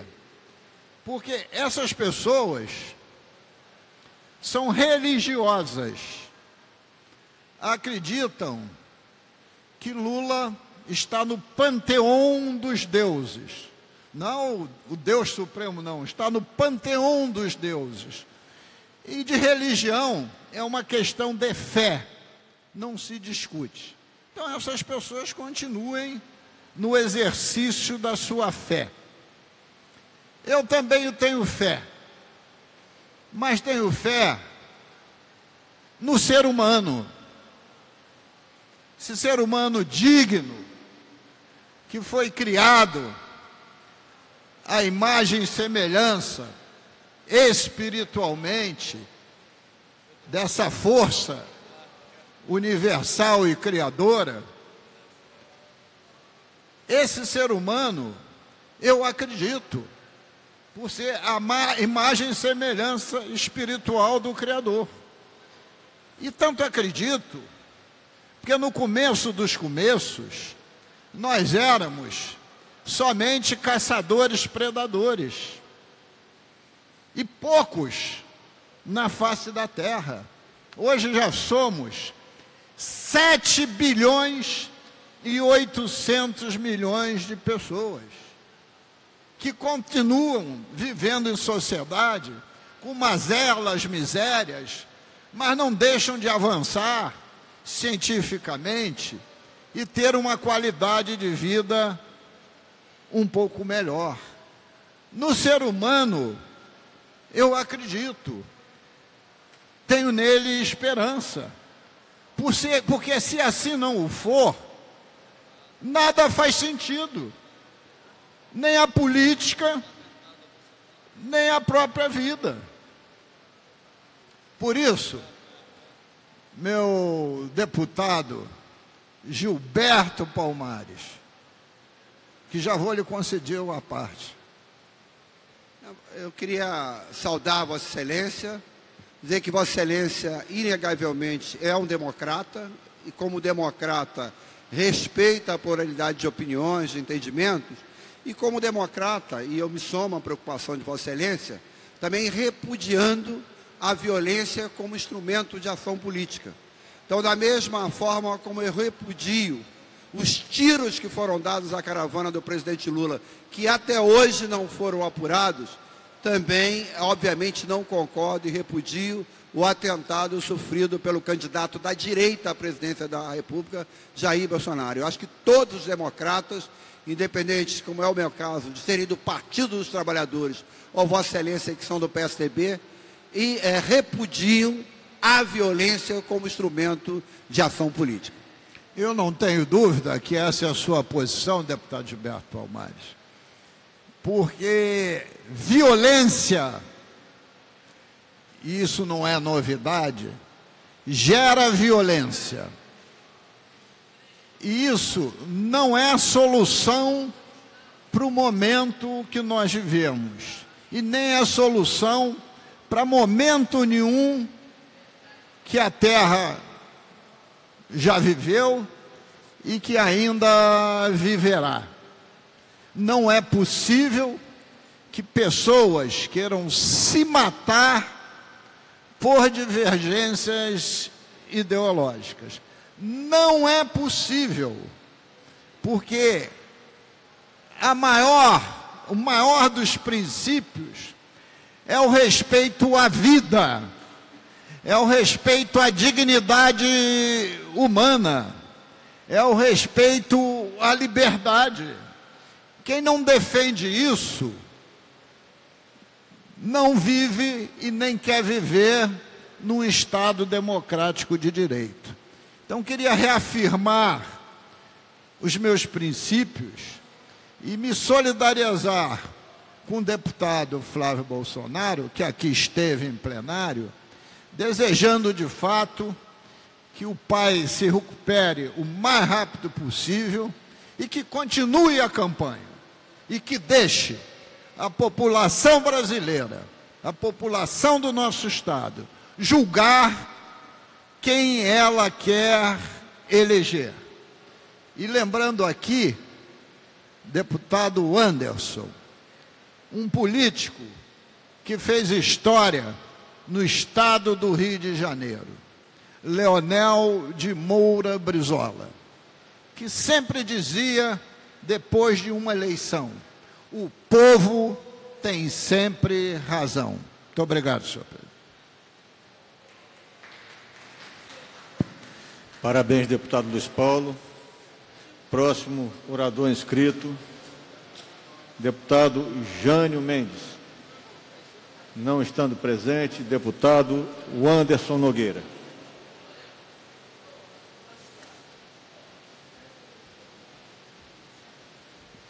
Há uma história muito bacana do nosso já saudoso Belchior, que num dos festivais de música, festivais da música brasileira, a sua música, que era a preferida do público, foi derrotada. E o público se revoltou, gritando, xingando, quebrando o que via pela frente. E ele pediu paciência ao público, calma. A vida não se faz de festivais. A vida não se faz de eleições. A vida não se faz de eleições, e aí eu vou para os dois lados dessa moeda. Não há que se tirar proveito eleitoral dessa situação, nem de um lado nem de outro, nem do lado de quem merece as nossas condolências, e independente do Jair Bolsonaro não ter dado nenhuma manifestação quando Marielle foi assassinada, mesmo ele tendo agido desta maneira, não é a forma que o contraditório deve agir, porque eu, como cristão, e a maioria do povo brasileiro, como cristã, ela deve aprender que deve se dar a outra face. Como dizia Mandela, qual o melhor tipo de liderança? A melhor liderança é aquela que é pelo exemplo. E o exemplo que é preciso dar é repudiar qualquer ato de violência contra quem quer que seja. Não é na faca nem na bala que as coisas se resolvem. É no diálogo, no debate, mesmo sabendo, deputado Gilberto Palmares, que muitas vezes a democracia, de tão bonita que é, de tão plena que é, serve como principal arma contra ela mesma. Mas isso não importa, porque se a grande arma contra a democracia é ela mesma, que seja pela democracia o seu próprio assassinato, mas que isso ocorra no diálogo e no debate. Não concordo com absolutamente nada que defende Jair Bolsonaro, mas o respeito como ser humano que pelo voto no Congresso, onde quer que seja, defende as suas teses. E que seja pelo voto, se for o desejo da maioria da população brasileira, que ele seja o presidente. E nós, no discurso, estaremos debatendo um outro projeto de país. Um país que não se resolve nem na bala, nem na faca. Nossa solidariedade ao deputado estadual Flávio Bolsonaro, solidariedade, solidariedade essa que prestamos inclusive na própria quinta-feira, quando do ocorrido e as informações ainda eram desencontradas, mas como nesse momento o parlamento estava vazio e estava vazio nesse dia também, quem aqui estava se solidarizou. Então é preciso dar essa informação para evitar certas falas equivocadas que não têm conhecimento. Deputado Gilberto Palmares. Deputado Anderson, Vossa Excelência, não à toa pela importância do tema, assim como o deputado que o precedeu na tribuna, deputado Luiz Paulo do PSDB, e Vossa Excelência Quadro deputado do PSOL, aborda o mesmo tema, que é o repúdio de todos nós à violência como instrumento de ação política. Qualquer quadro político ou qualquer cidadão que seja vítima de violência independente das ideias que defenda, deve receber a nossa solidariedade e desse ponto de vista eu reafirmo, da mesma forma como achei absurdo e continuo esperando a apuração dos tiros do atentado à bala contra a caravana do presidente Lula, também repudio o atentado ao candidato a presidente da República da Direita, Jair Bolsonaro. Agora, eu só acrescento que eu acho que todos nós devemos nos somar em construir uma cultura que repudia a violência. Uma cultura que entende que a sociedade democrática não ignora os conflitos porque eles existem, mas aponta que os conflitos sejam resolvidos no debate, no diálogo e, quando necessário, no voto. Então, eu, para não tomar o tempo de Vossa Excelência, eu só acho ruim que o próprio candidato a, a, a presidente, vítima dessa violência, ele próprio, com seu gestual, com a sua atitude, não a minha leitura, seja um incentivador da violência. Eu espero que esse exemplo, que esse quadro, ajude a que haja uma reflexão maior e que ele deixa. Na própria hospital ele foi fotografado com sinal de, de armamento. Foi fotografado com uma criança ensinando, tipo assim, a usar um revólver. Então, todas as figuras que têm que responsabilidade do país têm que respeitar a Constituição e pregar uma sociedade democrática que repudia a violência sobre quem quer que seja. Obrigado, deputado Gilberto Palmares. Portanto, o repúdio total a qualquer ato de violência. Nos solidarizamos com toda a família e torcemos para a pronta recuperação para que o debate persista e que no debate se decida aquilo que se quer para o Brasil. Agora, nessas minhas caminhadas, deputado doutor Giulianelli, fico cada vez mais convicto de que as pessoas ficam cada vez mais distantes do que é o Brasil.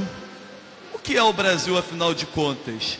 E eu tenho percebido que cada vez mais o Brasil é o lugar onde a gente vive. O que, é que eu quero dizer com isso? São os nossos municípios, é o nosso Estado até chegar à composição de nação.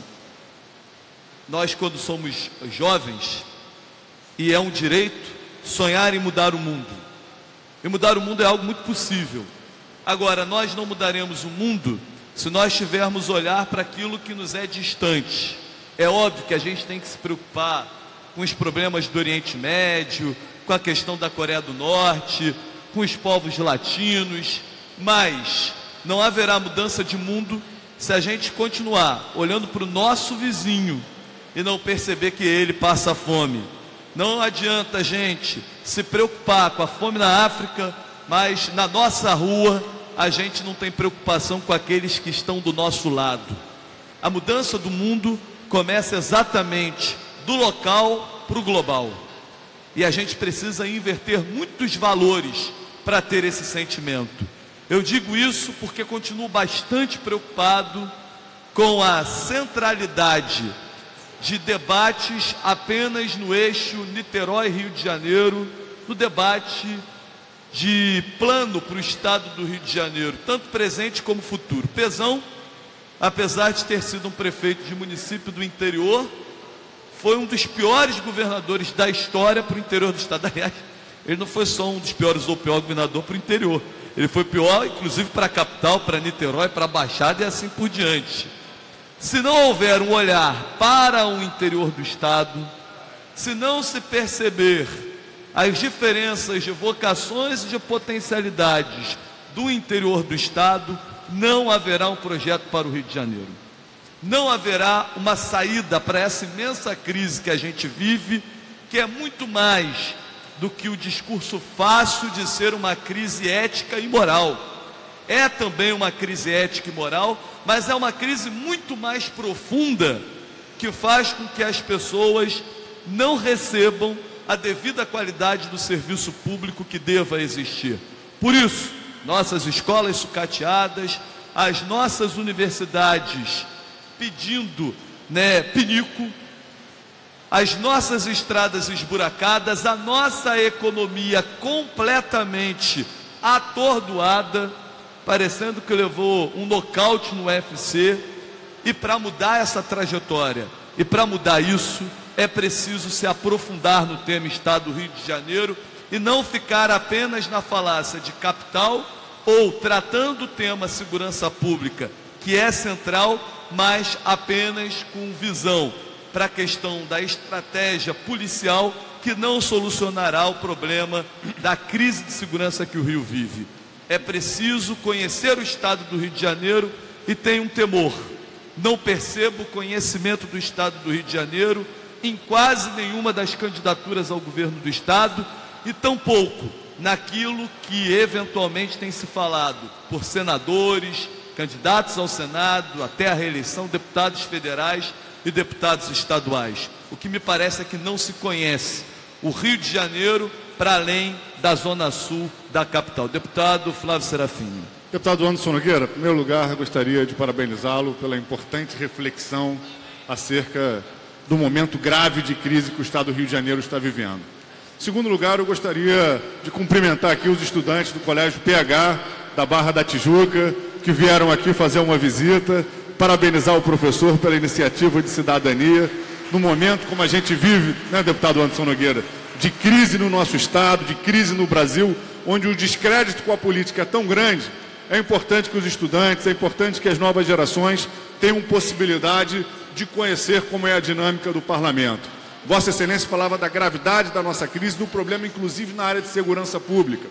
E a gente tem batalhado aqui no Estado do Rio de Janeiro para que a gente entenda que desenvolver um projeto de Estado que pense a neutralização da violência, que pense a preservação da vida das pessoas, passa em primeiro lugar pela garantia dos direitos.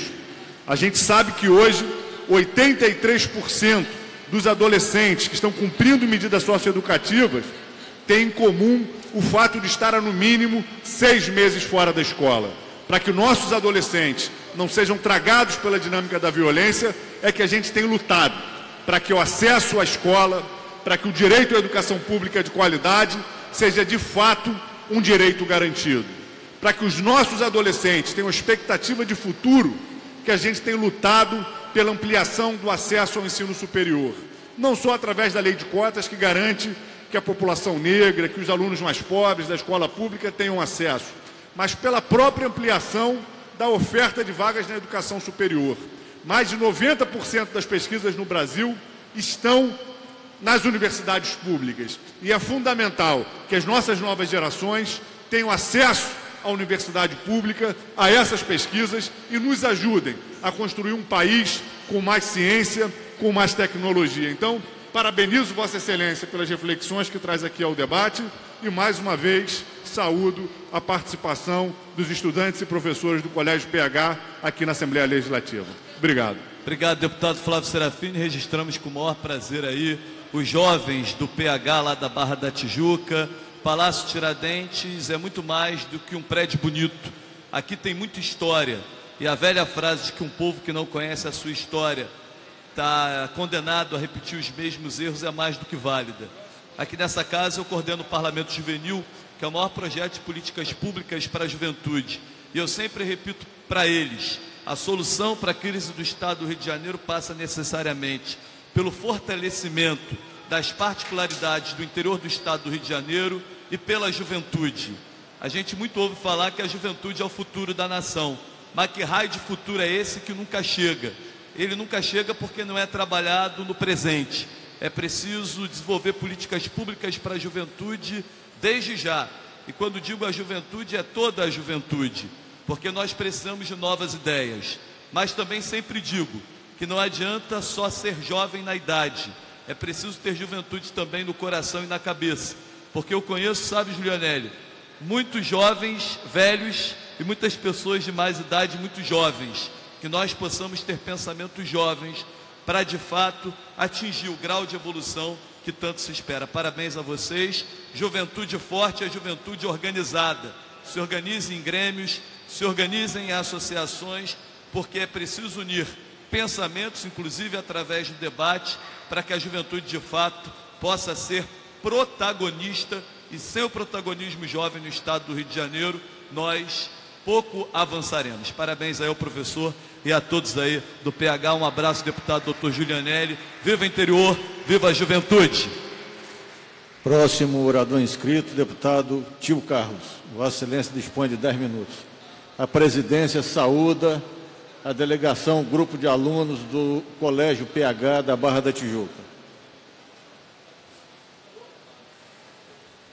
Senhor presidente, que me leva a ocupar esse expediente, falar sobre os últimos acontecimentos. Primeiro, lamentar, estar solidário com a família Bolsonaro. Lamentável um ataque à democracia. Se as ideias defendidas pelo candidato a presidente, pelo deputado Jair Bolsonaro, não, eu não concordo com algumas delas.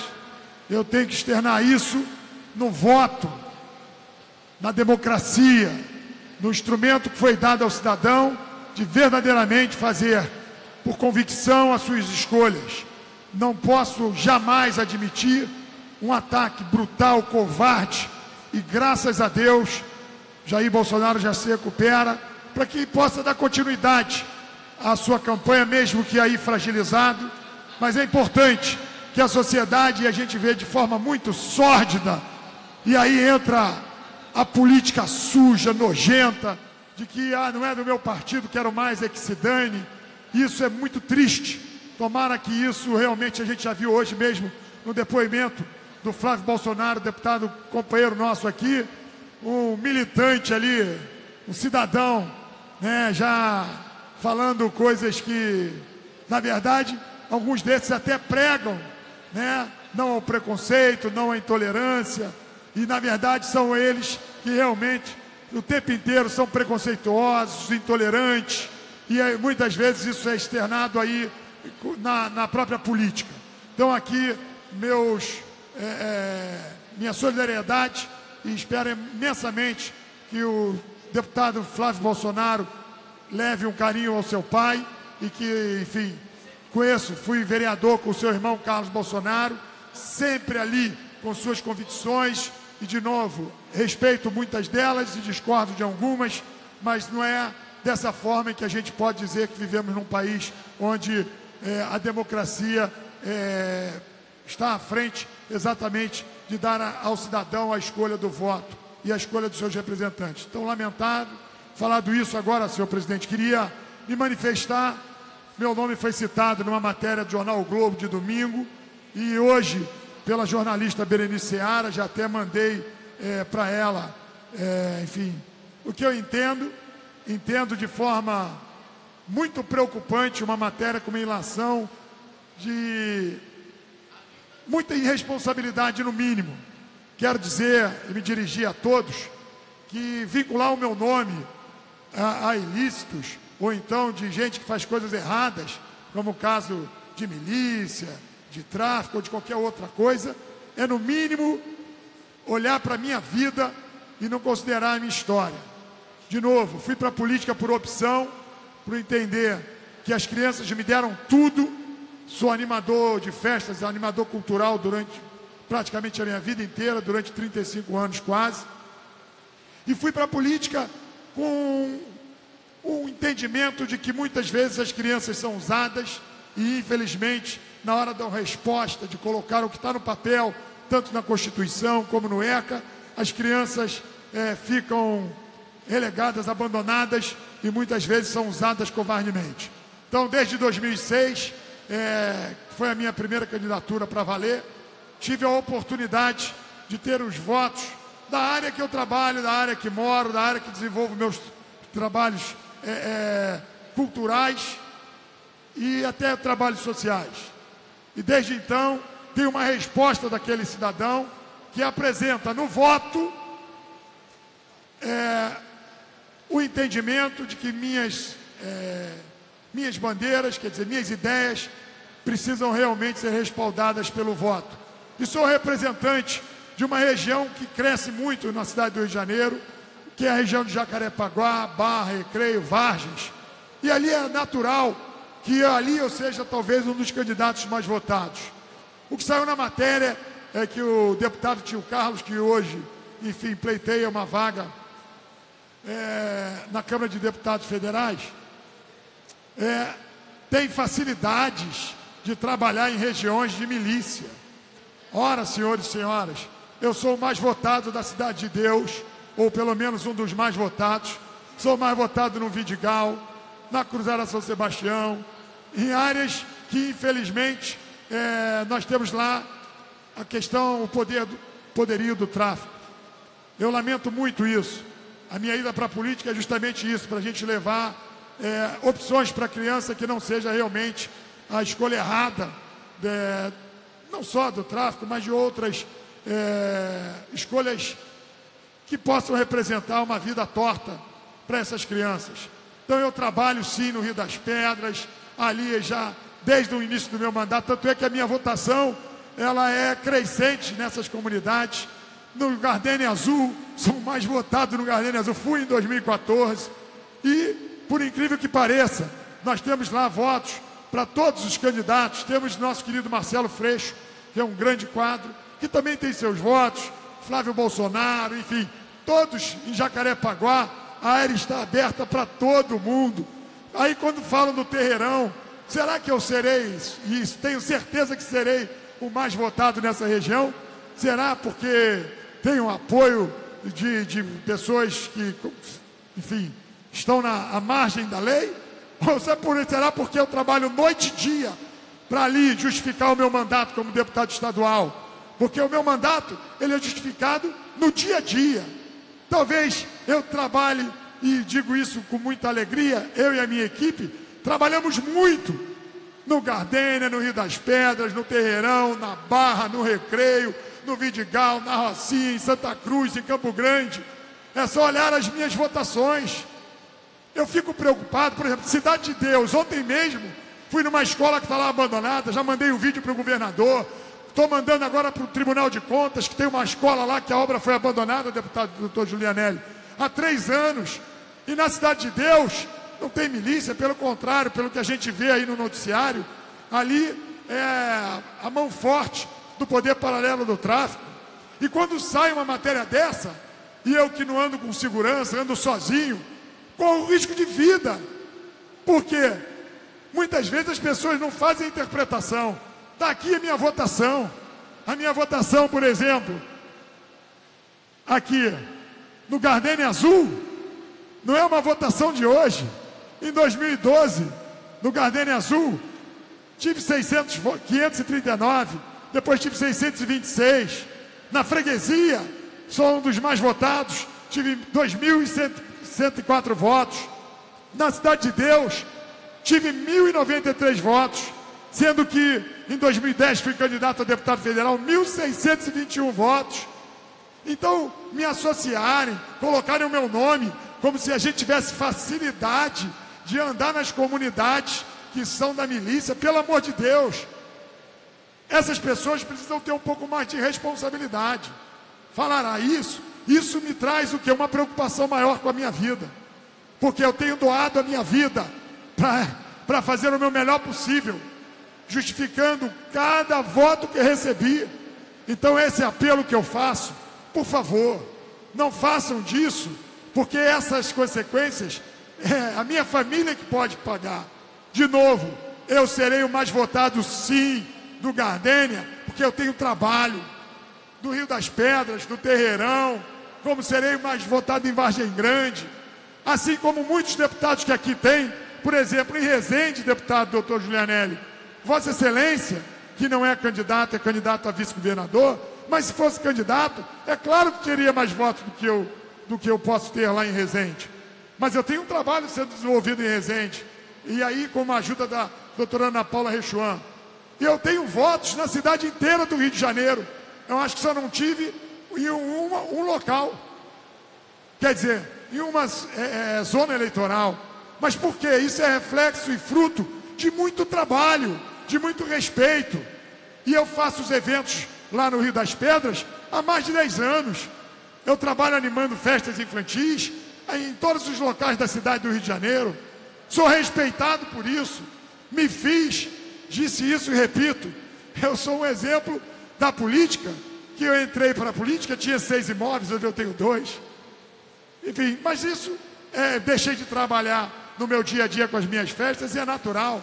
Não fui para a política nem por dinheiro, nem fui para a política pra, por poder. Fui para a política para lutar para que as crianças tenham direito de ir à escola, para que o que está no ECA, direito a lazer, direito à educação de qualidade, direito à saúde. Por isso, talvez que eu seja o mais votado do Rio das Pedras, porque eu lutei para que quando o prefeito Eduardo Paz pudesse levar a clínica da família para atender aquela população sofrida. São mais de 100 mil habitantes.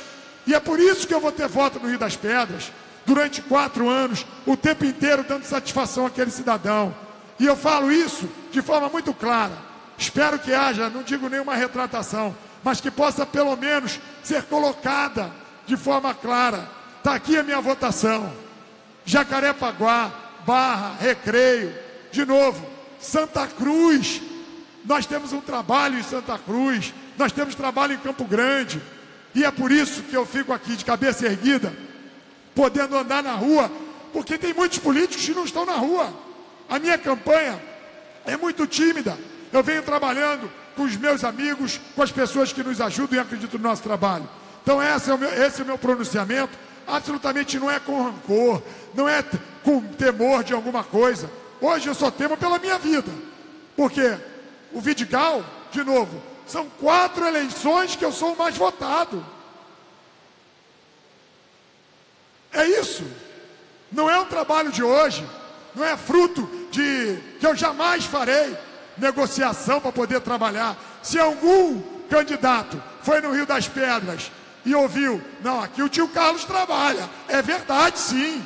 No Gardênia, aqui o tio Carlos trabalha. É verdade. No Terreirão, como está hoje, estou citando essas três localidades que está lá, o tio Carlos trabalha. E trabalha muito. E é por isso que eu peço. Esse, na política baixa, adversários que entendem que é uma forma de me prejudicar, não tem problema nenhum. Já termino, senhor presidente, mas eu gostaria de poder passar um pouquinho. Vejo que não tem mais ninguém para falar, mas eu peço, por gentileza, apenas para concluir. Não tem problema nenhum. Rio das Pedras está aberto para qualquer um pedir voto. Gardênia ou qualquer outro lugar. Ataquara, Freguesia. São áreas de Jacarepaguá que nós precisamos, inclusive, que os candidatos possam assumir os compromissos dessa região. Precisamos, por exemplo, que os candidatos a deputados federais estejam lá, por exemplo, no Hospital Cardoso Fontes, um hospital federal que está abandonado. Precisamos que os candidatos a deputado estadual, ou então os próximos vereadores, que lute por essa região. Lute por uma cidade de Deus, que é verdade sim, deputado doutor Julianelli. A maioria dos políticos não aparecem na cidade de Deus, só aparecem em época de eleição. É verdade sim que muitos políticos, candidatos, que fazem uma política baixa, rasteira, covarde, só aparecem na época das eleições e com aquelas propostas indecentes, mantendo o povo completamente ali, entristecido, tratando o povo de fazer uma política baixa e covarde, sórdida, com benefícios e benesses no momento eleitoral. Então, mais uma vez, quero aqui, não vou dizer a palavra repúdio, não, mas vou dizer, me entristece, vendo que a imprensa poderia ter um pouco mais de zelo com isso. Por favor, é vida, é a minha vida que está em risco. É a minha vida, porque eu vou continuar entrando na cidade de Deus, no Vidigal, nas comunidades, muitas vezes, como é no Complexo do Alemão. Comunidades essas que temos lá um problema sério, que é a violência do tráfico. Mas eu não vou abaixar a cabeça. Se os meus adversários quiserem me derrotar, não tem o menor problema. Já falei para minha família, já falei inclusive com Vossa Excelência. Será a minha última eleição para deputado federal. Aliás, talvez eu acho que já cumpri o meu papel. Dez anos na minha vida. Fui vereador durante seis anos, fui deputado estadual com mandato e sou hoje candidato a deputado federal. Mas isso absolutamente não quer dizer que a política para mim hoje até me entristece muitas vezes, doutor Julianelli. Eu, às vezes, o senhor, Vossa Excelência, que é da Comissão da Educação, quando a gente vê os nossos pleitos atendidos, como foi a questão dos duodécimos das nossas universidades, eu fico feliz que valeu a pena participar dessa luta do bom combate. Mas tem dias que eu saio entristecido, deputado. Fico entristecido que a gente não prospera. Tantas vezes as nossas ações, elas verdadeiramente não são é, é, atendidas na medida de, uma, de um benefício direto para a nossa população. Mas eu fui para a política com significado. Se é ajudando as pessoas, é o preço que eu estou pagando. Estou pagando. Voltei a animar minhas festas, estou preparando exatamente esse sentido de poder é, é, retomar a minha vida profissional. Mas enquanto eu estiver com um mandato confiado pelo povo, eu tenho que trabalhar assim. E vou trabalhar em todas as áreas que me chamarem, todas as associações de moradores que me chamarem, todo o cidadão que me chamar, eu estarei lá para cumprir o meu papel, para justificar o salário que recebo aqui com o dinheiro do povo. Então eu agradeço por ter passado o tempo, peço desculpa a Vossa Excelência e dizer aqui de novo: não podem me calar no aspecto de que eu continuo trabalhando e espero imensamente que a população entenda e consiga, de forma muito clara, separar o joio do trigo. Eu não posso deixar com que o medo, como foi dito hoje pelo Flávio Bolsonaro, foi feito isso para tirar o pai dele das ruas, ele da rua. Mas eu não vou abaixar a guarda. Vou continuar trabalhando de cabeça erguida, porque, de novo, tenho uma resposta a dar para as pessoas que acreditam no meu trabalho, principalmente as crianças. Principalmente as crianças. Muito obrigado. Parabéns, deputado tio Carlos. Eu pediria a Vossa Excelência que possa ocupar aqui para fazer uso da palavra rapidamente.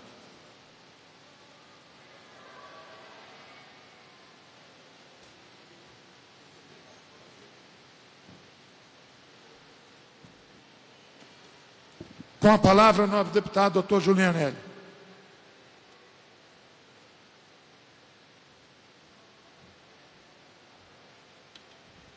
Obrigado, deputado tio Carlos, que preside essa audiência, senhoras e senhores presentes.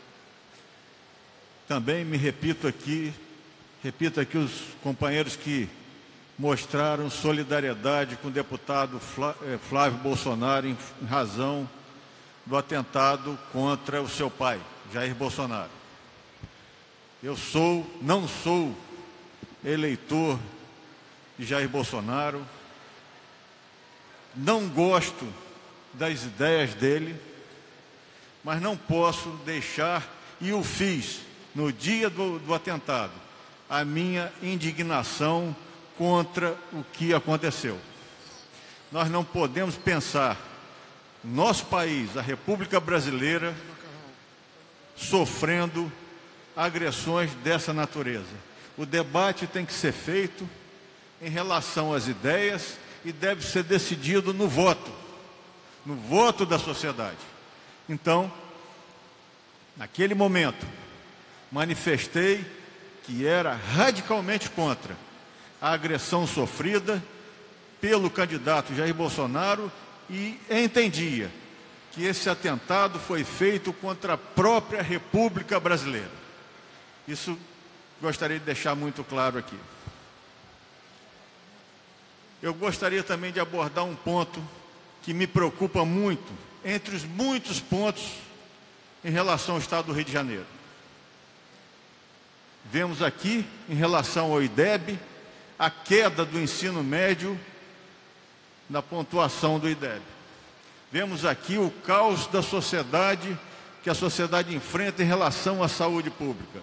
Mas eu gostaria, deputado tio Carlos, presidente dessa audiência, relatar o resultado de uma audiência pública realizada ontem na Câmara Municipal de Itatiaia, em que, mais uma vez, uma denúncia de enorme importância de um vazamento de uma indústria situada naquele município e uma audiência oficial na Câmara de Vereadores. O INEA não se fez presente. Isso é um grande absurdo. Aquele órgão que deveria fazer a fiscalização necessária que garanta a saúde ambiental e a saúde das pessoas, ele não se faz presente. Já é a segunda vez que isso acontece. Numa outra audiência em Volta Redonda, na Câmara de Vereadores de Volta Redonda, para discutir a questão da poluição da CSN, o INEA também não compareceu. Mostrando que, infelizmente, nós estamos desamparados quando se trata de fiscalização ambiental. O INEA deixou de ser um órgão fiscalizador e passou a ser um, um órgão de fomento de desenvolvimento, passando por cima de compromissos que a, a sociedade precisa fazer prevalecer. O compromisso de quando se instala uma empresa, as obrigações ambientais têm que ser respeitadas. Senão, de que vale? Arrecadar com imposto, criar emprego, se as prefeituras depois têm que tratar da saúde daqueles, daqueles cidadãos que são contaminados. Deus sabe por quê. No caso particular lá de Tatiaia, é uma, uma siderúrgica de beneficiamento de cobre. Então, em função disso, quando ela solta aquela fumaça, ela solta uma fumaça carregada de metais pesados, que são comprovadamente cancerígenos, que são comprovadamente causadores de doenças pulmonares crônicas, que levam, na maioria das vezes, à perda da capacidade de trabalho. Nossa, nossa região lá está cheia, Volta Redonda está cheia de pessoas que não conseguem trabalhar em função de pneumoconiose, que são doenças que são decorrentes diretamente da poluição ambiental. Então, senhor presidente, eu quero aqui fazer já fiz uma moção de repúdio ao INEA, estou fazendo aqui uma outra. Exatamente porque o INEA deixa, deixa de fazer a sua função republicana, que é fiscalização ambiental. E se junta, se junta, infelizmente, e Deus sabe por quê, aqueles que poluem o estado do Rio de Janeiro, que poluem a saúde das pessoas. Então, eu não vejo o que, qual será o legado, qual será o legado do governo Pezão. Não vejo. Não existe preocupação ambiental, não existe preocupação educacional, não existe preocupação com a saúde pública. E isso vai se somando, infelizmente. Governador Pezão escreve seu nome, talvez como o pior governador que esse estado já teve. Infelizmente, nós que vivemos essa legislatura aqui e que convivemos no dia a dia com essas agressões monstruosas, temos que ver um final de mandato caminhando exatamente como o começo do mandato, mandato de uma maneira vergonhosa e que nós todos fluminenses gostaríamos de esquecer no mais breve período de tempo. Muito obrigado, senhor presidente. Não havendo mais orador inscrito, está encerrada a sessão. Chamo os trabalhos à ordem. Antes de encerrar a sessão, convoco os senhores deputados para sessão ordinária.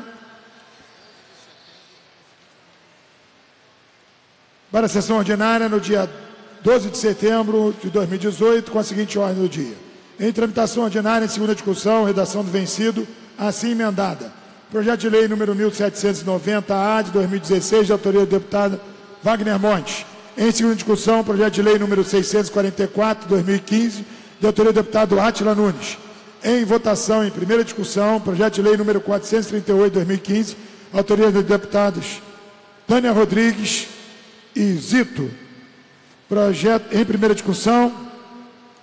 Projeto de lei número 2624 de 2013, autoria do deputado, deputados Paulo Ramos e Cláudio Maria.